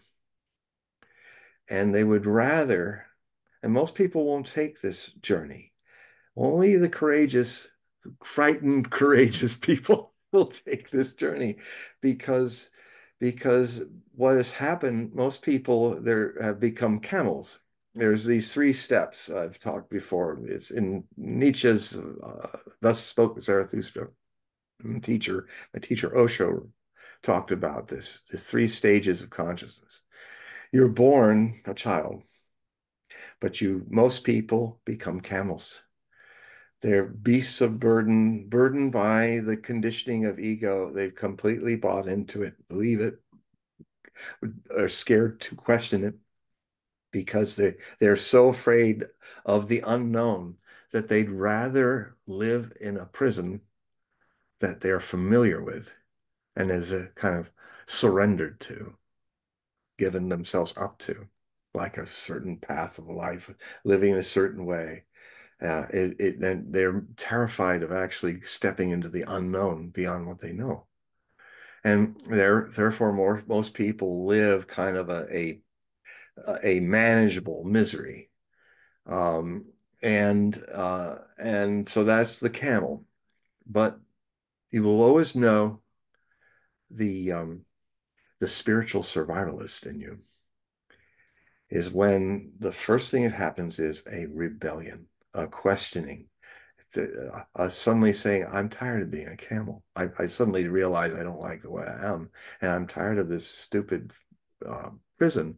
And I'm starting to understand something that there's never been a lock in the door. I always thought I was locked. Now that I see this prison more clearly, I, I, I've always thought that I was locked in here by fate, by destiny, whatever, all these things I can't control. Uh, but now that I'm starting to see things a little more clear about what mess I'm in, there's no, there's the keyhole has no lock in it. And the door's open. It's always been open. I'm the one keeping myself in here. And then you find, well, why? Why am I keeping myself in here? Because I know what this prison is. Maybe it's worse. Maybe it'll be more terrible out there. Mm, but you you reach a point is you realize that whatever it is, where I am now, I am rebelling against it. I do not want to be in this prison as its prisoner of identity. So you take a jump out the door. And that is the beginning of the, the walk towards the lion. The camel becomes the lion, the roaring lion. No, I'm not going to do that. No, you've told me this. Why should you tell me what Jesus meant and what he was right uh, saying about us when for one thing for sure, Mr. Guy with the pointy hat and the slippers and the funny dress, you have never known Jesus any more than I have. It's it's, it's 2000 years ago and yet you you talk as if you know you in fact the worst thing is the people of authority who almost know what they're talking about. They're the ones that are very good at programming people to be camels but the lion starts to recognize the camels in his life and he rebels against them. Rebellion is considered evil in a world of egos but rebellion is a is the catalyst for Buddha, for Jesus, for Moses, for all the great teachers. They were all rebels. They all questioned. If Jesus had not questioned the Sanhedrin, um, what would have made him walk into the wilderness for 40 days and nights and be tempted frankly, my favorite version of Jesus being tempted by the devil was Donald Pleasence playing the devil in Jesus in that Jesus Christ series in the 70s. you know, uh, he was a great, great actor. He was this little kind of mousy looking guy. In The Great Escape, he was the fellow who got blinded and he couldn't see anymore because he, and so um, he was, they were escaping and his friend was going to walk him through it and their plane crashed and he couldn't see that the Germans were lining up to shoot him. He couldn't see them. So he, he turned around. It's very tragic, but he's such a great actor. But anyway, should um, the give you a little break. A little a little straying from the from the narrative for a moment but um so so then you you start to recognize how and there'll be a lot of anger at first you know and but there's there's meditations also that help you there's nothing wrong with being murderously angry uh, the problem is if you kill somebody that's not going to help you or the other But if you, one of the meditations that Osho used to teach was the anger meditation. And I used to do it. And it was because I'm an anger type. Um, you know, the anger types end up being compassionate, but you know, I, it, anger. If you go into your anger, you will come out of it more compassionate and understanding about things because you know yourself, know thyself. You know your how you tick, how you have been made to tick oddly, you know, and and and so you you take a pillow, you put it before your knees, you know, as you're sitting there in a room alone, and for 20 minutes you do this. You you put the pillow, and if you're somebody you want to put their name on or something that you have want to direct your anger towards, you put the pillow there, and then you grab another pillow, and you start beating it. Boom, boom. Now, now Osho used to say, you know, first you'll feel really silly because you're not feeling angry. You're not, but he said, just keep going, just act. He said, don't worry, it'll come. Just, just be in the moment and keep beating, beating, beating. And there is, you feel like this is, I feel so stupid going, I'm not really feeling anything. And then suddenly, unguarded moment, your hara, your belly will get full of fire. And then you'll be going, ah! the pillow. And you will be, you will be take, taking all that anger into the pillow that you would have to kill people because it's there. The, the, the, art of it is you've got to find a way to be okay with it and not harm yourself or others. But, but so that's what's so wrong with this whole saintly thing where people, oh, well, you know, don't be temper, don't don't be angry, be civil. And so all these walking, talking volcanoes we become because there's just you can't let it all go. And but there's be ways to do it because you should not dump this energy each on each other. I mean, the fact that everybody's all walking around repressing it is not repressing it in the psychosphere, and it's creating the mind plague. That is, uh, which I'm going to write about in an essay in, in my book, The Book of Things to Come, which I'm starting this year. It's it's a um, I calling the essay the zombie prophecies because basically we we are I'm going to make the argument in my essay is that uh, why we're fascinated and also repelled by zombies is that we are zombies. We came in as Buddhas. We are trained to forget all that and suppress that, and we become zombies. And to be kind of out of touch with oneself kind of in a stupor, in the kind of in the drunken stupor of ego, um, we can then avoid. We're taught to avoid those things. We're actually taught to suppress these things, you know, to uh, because if you flip out, you know, they'll take you away in a in a straitjacket. But what if you had a society where, or you're in your own private space, you're not out in the street doing this, where you can do things, where you can open your channels. Now, some people, they just keep doing it and doing it. And that's also a trap. You know, it's like, uh, then it's like, oh, I'm working on my stuff. Well, no, the, the truth is you have no stuff. That's what you, if you go deeper, you realize there is no stuff. But that's just a hypothesis now. It, don't don't believe it or disbelieve it because belief is a qualified ignorance some guy, some stranger who's authority figure, who's who's looks like he knows almost knows what he's talking about.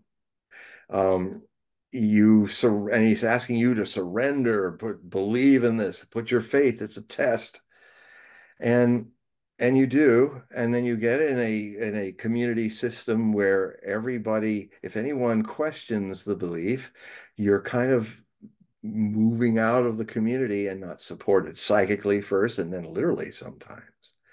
And, you know, you have become that black sheep. The word for the black sheep in its roots is heretic. That's where we get the word.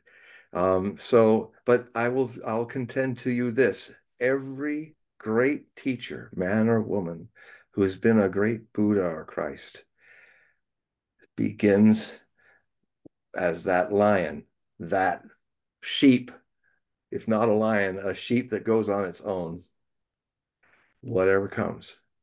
Because you you will never see an army of Buddhas coming to save you. You will never see an army of Christs coming down to the Jordan River to be bathed and baptized.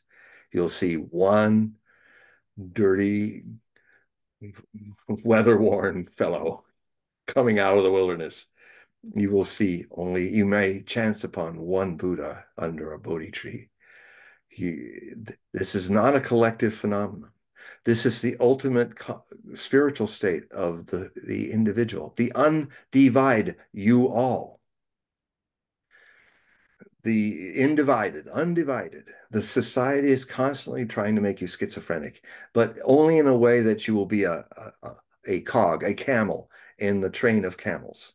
Um, you know, there some of the, some of the work goes too far, and the schizophrenics become um, certifiable but everyone is turned into a schizophrenic in this world.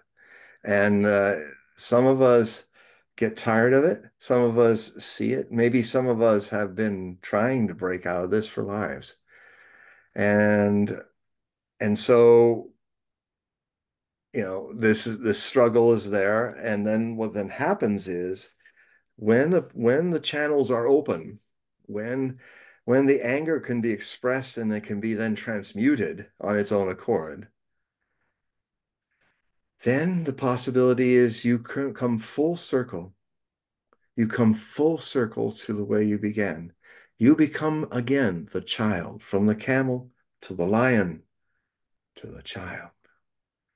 The child this time is not the same child. This child is not like the fish that's been told that there's an ocean and the fishes swum all around the sea to find this ocean to the point of exhaustion and never found it.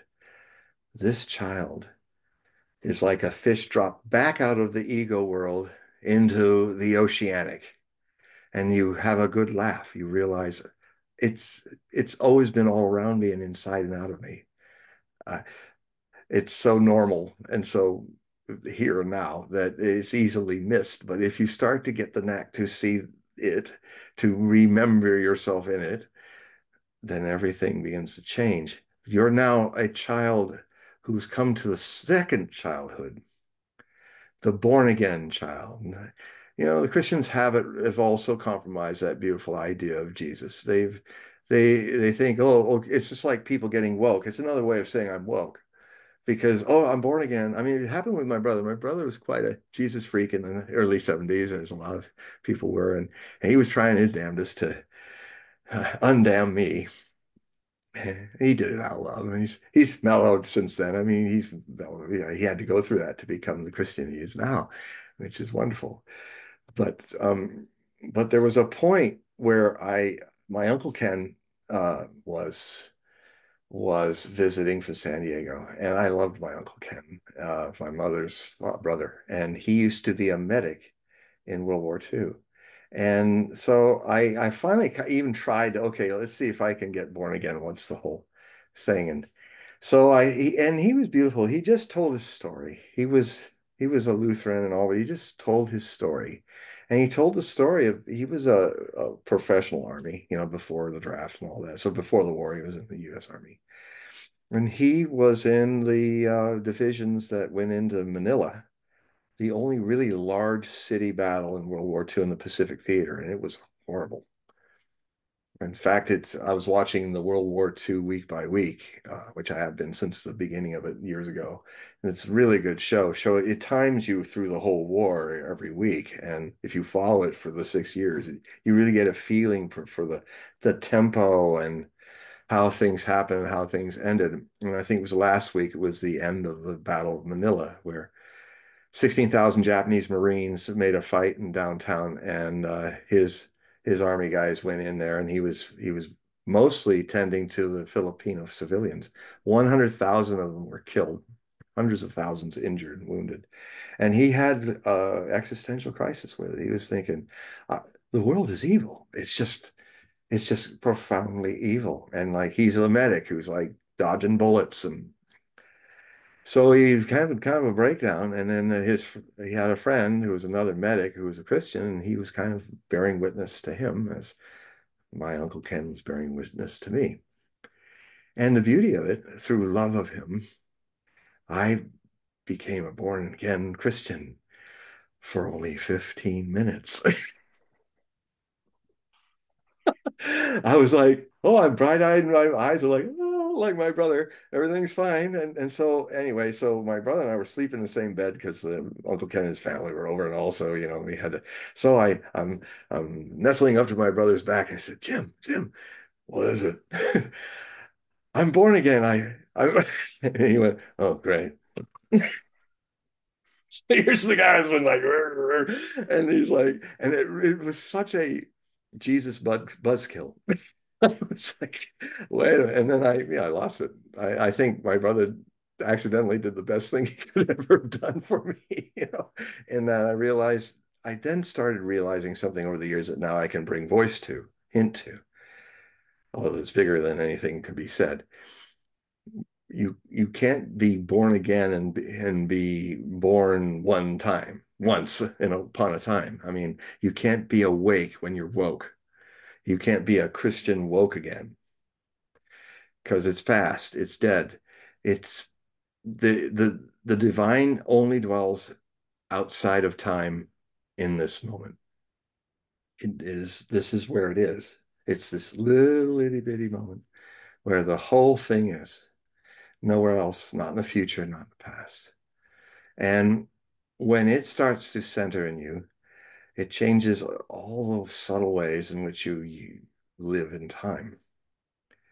And and it changes ways in which you perceive others and yourself and and how you create.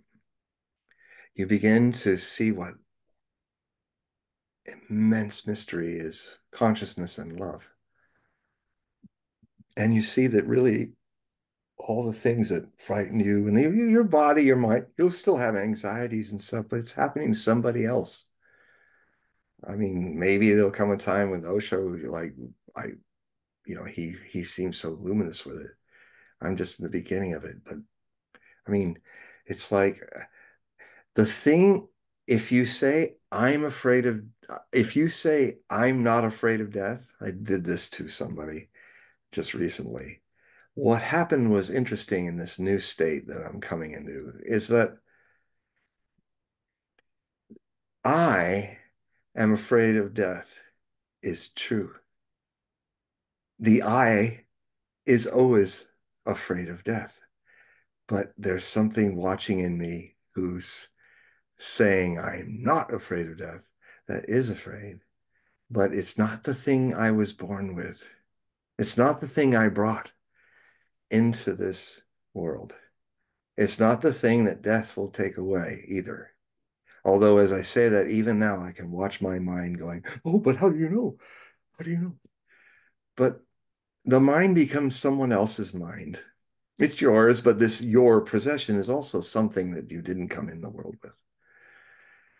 So it's a very interesting process. And I try to as, as much as being a medium to help people in readings. And I, it's always a thread underneath all my talks about the world. You'll see it in the articles. The, my my forays into current events and the future are really an attempt to bring people to the present because that's the only place where the solutions are that's the only place where your enlightenment is purely creative by doing nothing at all it happens so you know, I that's the thing that I bring into readings and into my writings. Um, so if you're interested in having a reading or writing, you know, just check out the beautiful way that Paul has laid out my links. I'm starting to get more people from this community uh, that Paul has created online that are starting to show up. So I'm starting to meet a lot of you, and we're having wonderful interactions. Um, so so that, that, that just so I can plug for the ones that are watching, make sure that you click the link. It's in the description of this video and all the videos that I've done with John, and that'll take you right to his website. And by doing that, you'll be able to sign up for his periodical and do the readings. Yeah, those are they're, they're all different choices. You can have free choices on how to do it. You can just do it at one time, uh, just to see the get uh, you know wet your feet in the one stream of articles that I've produced in that week or something. And then if you like more, you can join, or you can be an automatic. You go through my page, my own page uh, website. It takes you to the page where you can sign up, and uh, you can be an automatic, which means maybe five, ten dollars a month. And then it's just on and on until you want to stop. Whenever you want to stop, you can just go in and unsubscribe. Uh, and then the other is where you just do the donation one drop in for 12 months. It's about $60. And and yeah, $60 or a little more. And you get a, a lot of material. And uh, and you get all my sources that um I, I try not to say anything in the world, especially with the controversial nature of, of trying. I am part of the alternative media. A lot of us used to be in the mainstream media, but that media, as far as a fourth estate, is dead. But we are alive. And many of the people that you might have wondered, where did they go? You'll find them there. Like Chris Hedges, like you know, people uh, that I wondered what happened. Did they die? Where are they? They're there. And we're all, you know, we're all trying to finance it on our own. There's no, because when the man's not pouring money on it, the man can't censor us and hide our sources because our job, as I see it, and you'll see, you'll see the people, may, it'll be an opening to all kinds of very interesting people like Alexander Mercouris and Alex Christoforou, the Duran, or Scott Ritter, um, or um, Chris Hedges and um, John Mearsheimer and other people. Um, and it's a, it's, I have all sides because you can't look at politics and the world without having sources on all sides. I mean, you'll you'll you'll meet one of my favorite people, and most of these people they don't know me, but I'm sending people to them. But uh, you'll meet Patrick Lancaster, who's I've been watching him for eight years report in Donbass, the civil war. He's an American who went there when the referendums were starting. He fell in love with a Russian girl, and and they live in uh, have two children. They live in Donetsk and the city there, and which has been shelled by the Ukrainian army for eight years. Cluster bombs, cutting people down in the square, and I've seen it it's an interesting thing that meditation can do. You can be in that too and not come away from it take, carrying it. But I, but this guy, he's he's amazing. He's he's very ebullient and he's this little guy and he used to be a sailor and and and he and whenever he, he's he looks like a frightened bunny rabbit when his eyes get really big, but he goes right puts right in there, you know, right into the wolves, and uh, and it's quite something. Um, and you'll also see places in my work, my sources, where you'll get to see how the Russians really are, not how you're told on the evening news or whenever you get your news. I'm dating myself. Um, uh, you won't have Walter Cronkite telling you things anymore. Anyway, so um, the you will you will I mean some of some of my sources are vloggers and like one of the best vloggers to kind of get an idea or a feel for Russians and people living in Russia. There's two of them. Probably some of you already know it. Like Luna the Pantera. It's where there's Volva and Vikya, and they have this black panther and and this dog named Venya, and they live in Siberia, in Siberia. And I I have to watch them every day. It's, they're just wonderful. And she she's like she's like the reincarnation of Chekhov in this big big-eyed Russian gal who's little gal who who she does running accounts. I'm learning a lot of Russian listening to her because there's subtitles, but and and she'll say something really funny like you'll see Venya's eating snow in this vast track of snow where they live. Oh, there's Venya, she's saying in in Russian. She's doing her little bit to bring the spring. just the snow. You know, it's like she's she's like Chekhov or something. You know, uh, that's the other thing you find out. Even the garbage man is, knows his history and knows his literature. They are very literate people, Um, I mean, in the middle of when Patrick was in the fighting in Mariupol, he was in that a lot, and that was really something. The one of the first big battles of this uh, in 2022, when the Azov Battalion was terrorizing this Russian city that was um, in Ukraine, and the and there's bullets flying, and suddenly they ran in between all these bullets flying around, and he stops where there's some cover and there's this guy walks up and he says, and he's a retired general. and he's like, yeah, well, you know, and then he's just, he, he knows what's going on in the world, like any American would, you know, it's like a lot of times it was like a variation on Dostoevsky characters, you know, they're, they're a bunch of characters, the Russians, very interesting people. And, and they do have, they have a quality of soul that um, is unique to them.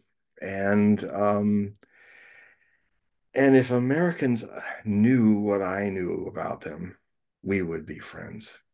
Really, the Russians and Americans should be brothers and sisters. They're really that we're not is really perverse, because um, they're real people too, and um, and they have been. They are not out to play evil Putin, the guy who's you know Doctor Evil and all that.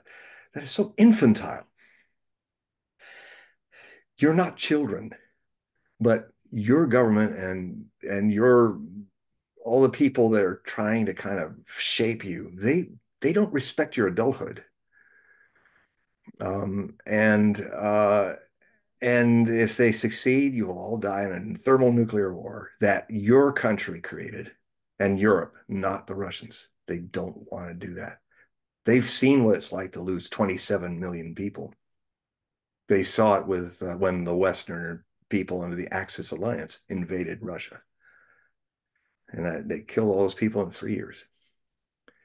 They still have the scars from it. So when they see the Europeans massing like Napoleon again, like our little fellow with the mustache, um, uh, and his NAZI alliance of half of Europe when he was going in 1941, if they do the Napoleon, they do the Hitler, I said it. they do they do NATO the the the defense uh, alliance, which has already broke its charter twice when they bombed Serbia.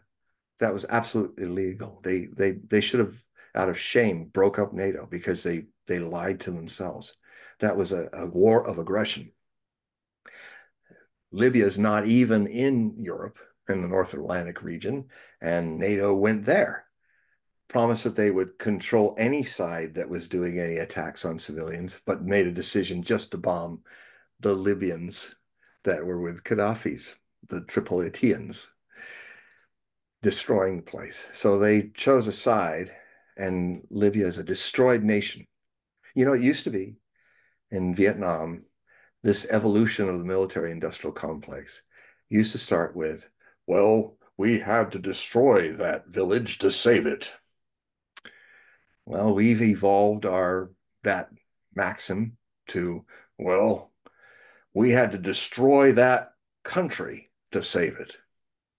And if we don't break this habit of the war business, folks, before before we're dying of radioactivity, those idiots will say, "Well, we destroyed the world to save it. So, but the good thing is people are waking up. lines are being crossed even even in a world where people are being dumbed down.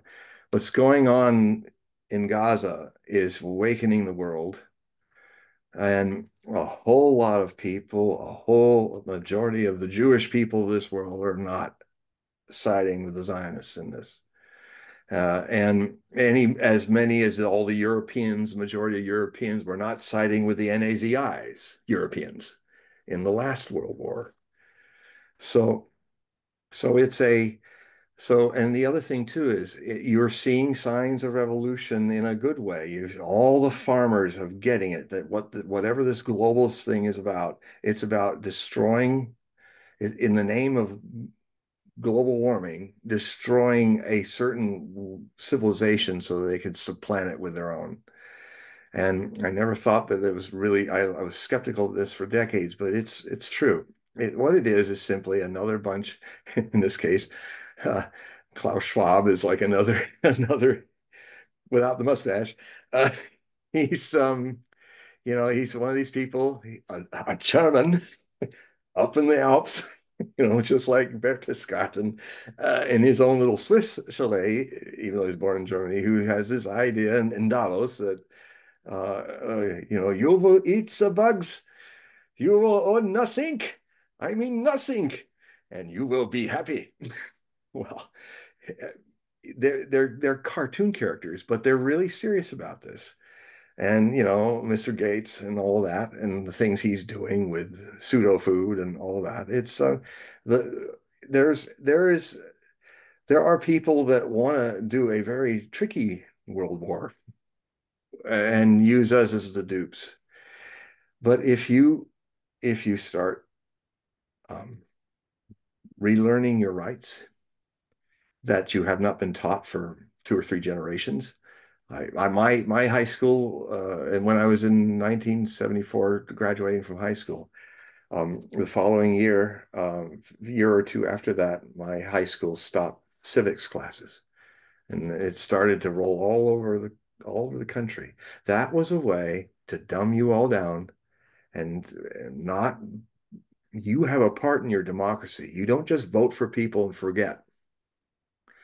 Otherwise, you get on either side, Republican or Democrat, you get the the governments you deserve because you're you've been trained not to um, do your part. You know, this is Lincoln said, "This is uh, you know this this is of the people, by the people, for the people."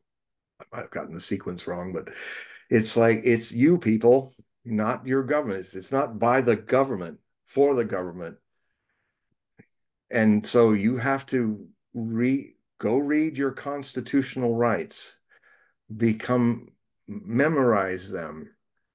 Um, and you know, there's a few people out there that are uh, that are very good. Dennis Kucinich is a constitutional champion uh, who, who might be a congressman again uh, come around this new time. He found a way to find a district to be a congressman when they they could only take him out by erasing his district so that he wouldn't be there as a thorn in the side of people who would like to just make rules on their own rules, not the Constitution's rules. And they got a good test when the Voldemort sickness happened, shutting everybody down they saw how docile and camel like we all are. Become a lion. You start, you can do it. You see, it's not just in your own spiritual life, but in the life outside. You can also be a lion. And it may save your democracy, it may save your future. Because if we let these people continue by being dumb and docile, they will destroy the world.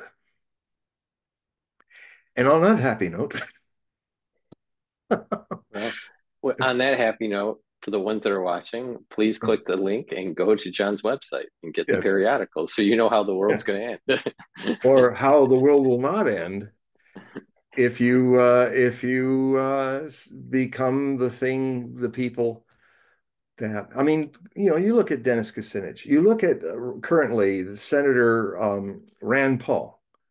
Just watch how he's fighting for your rights beyond him being a Kentucky Republican. He's upsetting all the Republicans too. You know, it's um, and you share a lot in common with the people you might deem as blue or red. I also talk a lot about that. I mean, we didn't get it into this show. It looked like we might have gone in that direction, but I think in another direction, I'm going to talk at length about the ways in which things can be reconstructed in our, I mean, just some ideas. I mean, I wrote a whole book about it. It was called uh, Alt Beyond Alt Left, Alt Right, a community of Americans.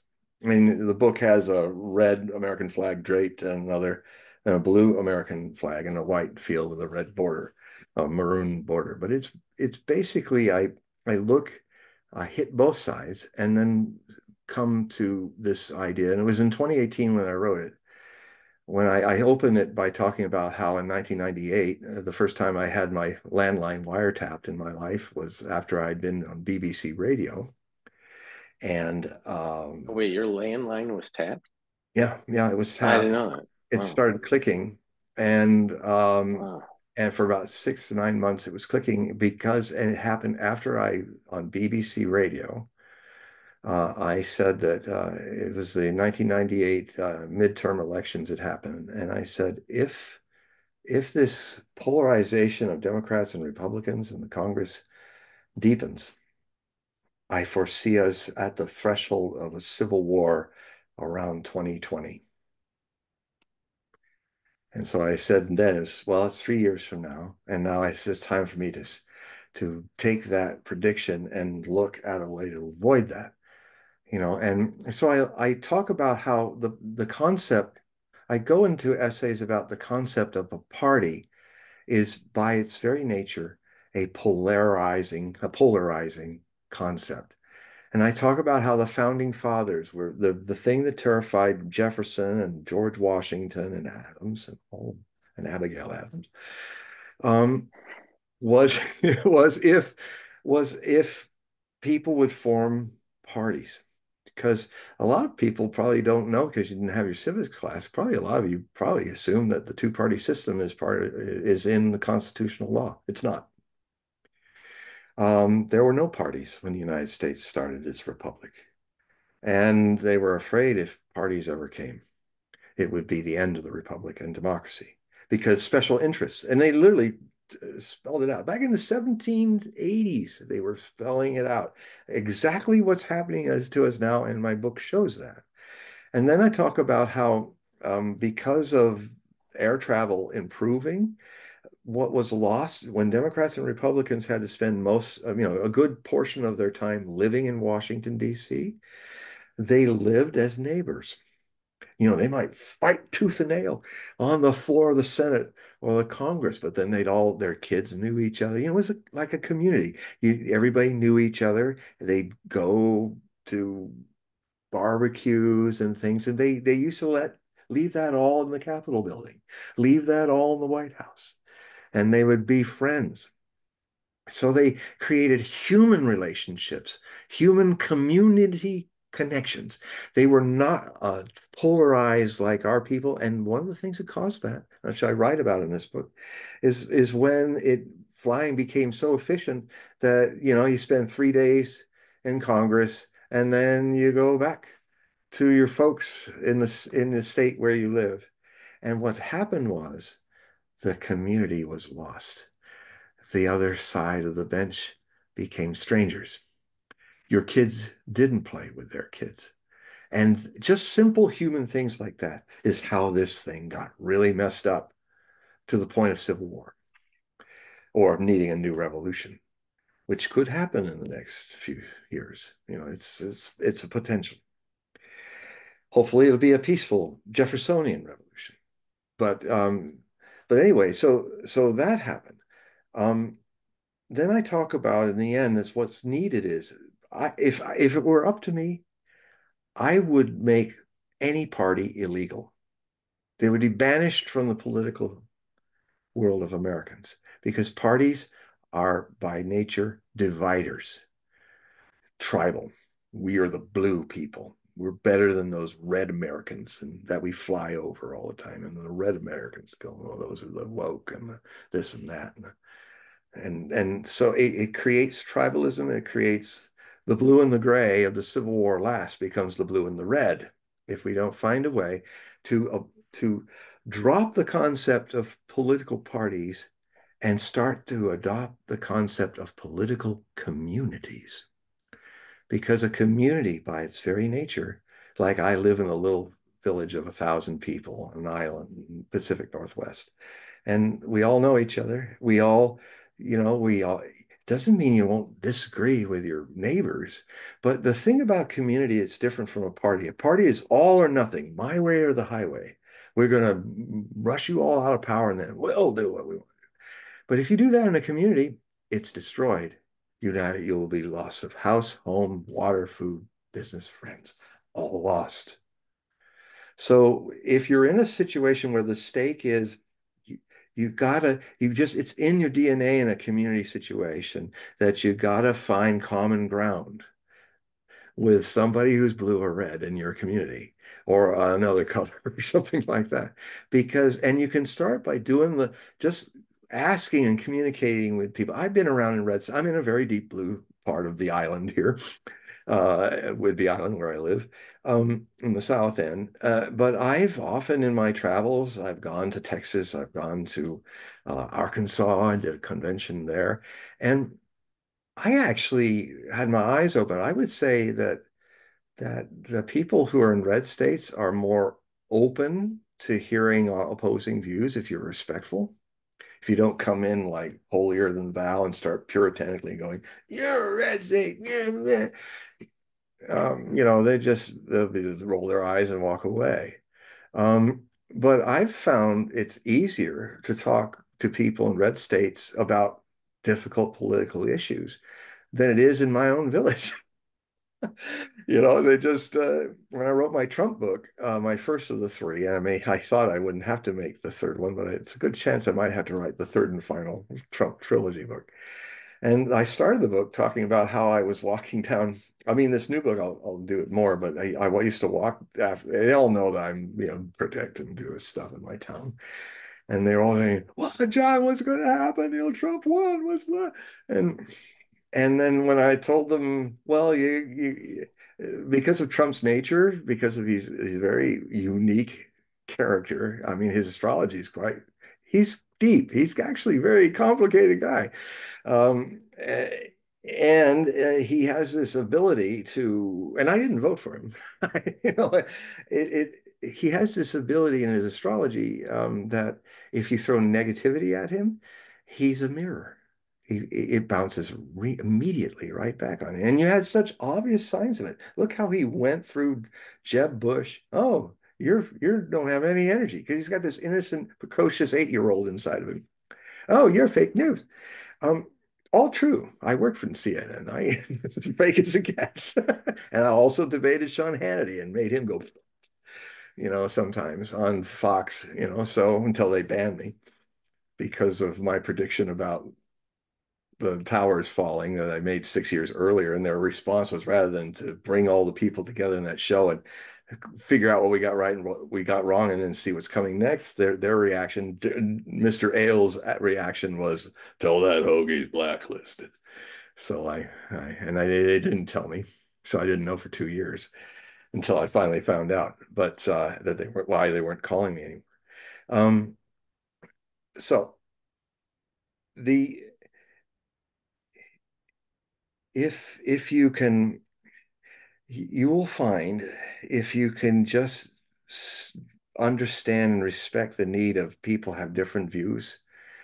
And and and that's what makes our country interesting. And it's always been a vibrant debating country. And sometimes we've even gone civil war over things that we couldn't agree upon. But there's really so much that we share in common with the other side that um, if you so you start with the low hanging fruit. You start with things like, yeah, we all we need we need a sewer system. Yeah, you know, we gotta find a way to make it fiscally responsible and not some big boondoggle making our don't throw money at it like like some one side likes to do and don't be so cheap that it can't we got we we got to find a way to get the sewer system done you know you know we got to you know, law and order is an important thing. Look what happens in cities that have defunded their police. They're becoming places where gangs are going in. Seattle's like this. Whole business areas are leaving downtown. If you watch X, you'll see it. You'll see the daily stuff of it. Um, you'll see all these people coming in like an army and they ransack it like the Goths and run off with whatever things they can grab, and no one stops them. That's a recipe for the breakdown of your American civilization. And so, you know, I talk to policemen. I don't, I'm not afraid of them. I used to be in security, so I understand both sides. So, common ground. You find common as much common ground uh, with your neighbors as you can, and when you can't, you still remain loving and respectful. He, and and you don't preach you live by example.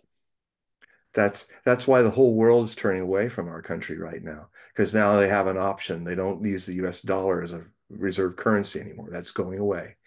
When the U.S. could keep everybody under hostage that way, they could walk into any country and say, you know, don't do as I do, do as I say, and and the whole world's been under this for a long time, and now they're free of it. And you, this is one of the least things, the most important thing you ought to know is that your dollar is no longer controlling the world. And it, and so that's leaving in a few years. So, and the reason is that uh, you have not lived by example. You're the neocons in their first manifesto after Cold War terrified them, and they had to find a new war war business model, a new Cold War. They started right after 1992 when the Soviet Union collapsed, and you know Dick Cheney and and Paul Wolfowitz uh, wrote these. I and I write about these uh, things in a lot of my books, these manifestos. And they said, oh, you know, you'll hear people say like John Adams that you know you shouldn't go out fighting monsters and you should not like force yourself on others. But they go, why not? So, and you know, they were arguing the idea that um, you don't you don't live by example. They literally were saying, ah, no, we don't have to live. We just make everybody do what we say, and and we don't live by example. You, you're not going to be the city shining on the hill anymore that people want to go to. You're not going to want to see the Statue of Liberty when you're coming through. We're going to tell you the way the world is, and if you're if you're our uh, enemy, you're in trouble. And as, and as uh, Kissinger said, and if you're our friend, you're dead. you know, so these are the kind of monsters that, that we, by not, well, why, us being so busy with our own lives, understandably, we got our lives to live, but these people know that, and that's our weakness. And they pulled out all the civics classes so you wouldn't know your rights and that and so we you know if one way to cure a situation is you got to own up to your part in it. You can't just blame it on the other because that's disempowering. You know how did now they may have all kinds of problems that make them uh, bad and stuff like that but if you're in an interaction with them and it's toxic toxic what are you bringing into it if you if you don't go there you will not empower yourself to find solutions. Oh it's his fault and i can't do anything about him but try to vote him out. That's disempowerment talking.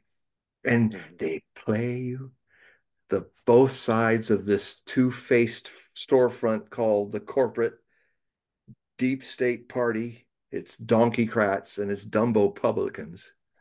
It's just a the, they're just uh, storefronts to con you in, neocon you in, basically. you got to you got to own up to it. It's okay. We make mistakes. That's the only way we grow. And but if you deny your mistakes and blame it on the other, you deserve exactly the future you will get. Well, we'll leave it at that, John. I tried to do an upper note, but but it's not it's not an upper note. It's the it's the truth, and sometimes the truth yeah. has to happen. I contend it's the truth. You may not. That's okay but at least people say that don't a lot of people who read me say well i often find it uncomfortable reading stuff but i like that he makes me think and feel.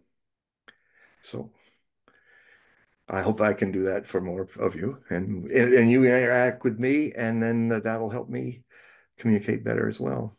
Right.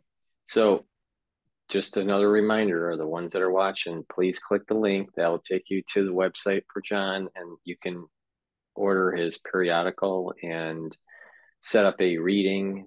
Uh, that's a one-on-one and he'll, you know, go into details with your astrology and uh, you do, what was it called? The, the cards? What was the cards? Tarot. The, the tarot, tarot cards. Yes. I use the Osho Zen tarot deck and it's a very popular deck and I knew I know Ma Deva Padma who created it, and uh, and uh, it was inspired by my master. So it's a uh, it's an amazing deck.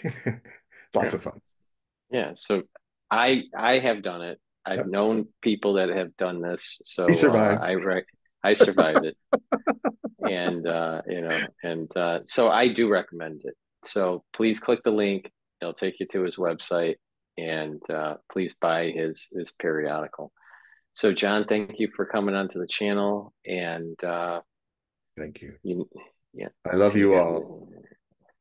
They all love you too, John.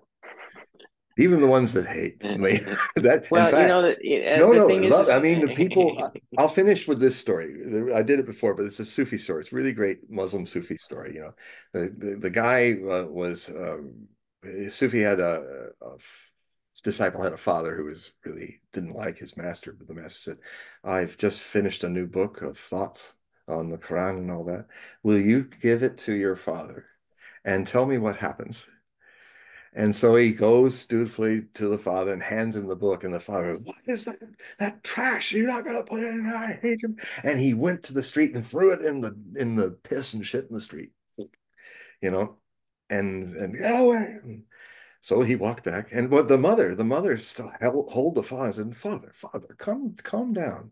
You've got to be more humane. You know, people have their opinions, and and you shouldn't try to suppress and be violent about that." And and so he went back, and so the master said, "So what happened?" Um, well, you were right. My father got really angry, and he threw it in the in the shitty street, and and uh, but my but my mother, she really came she came and was trying to convince him not to be that way and be more civil. Master goes, hmm. There's nothing I can do for your mother. She there's just nothing. But your father. He's so angry that he the anger turns to love. Look what happened to Paul on the road to Damascus. You know, he was he was out to kill Christians. He had been killing them for the Roman government. And then he was so hateful of them.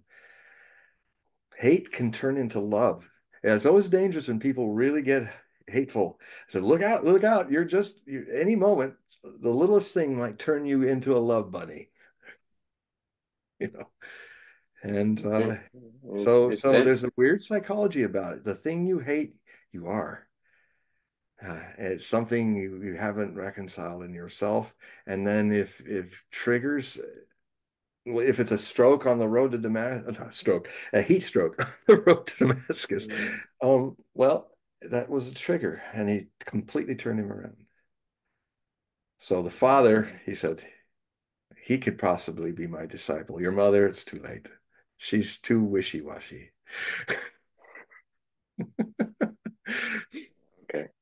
So what we're gonna do is you have to do your bye bye with the audience. Bye bye. Okay. All right. It was or, or as or as uh, Vikia in the in the Luna of the Pantera says, bye bye in Russia in Russian is poka poka. Right, poka poka. All right. so let me stop the recording here.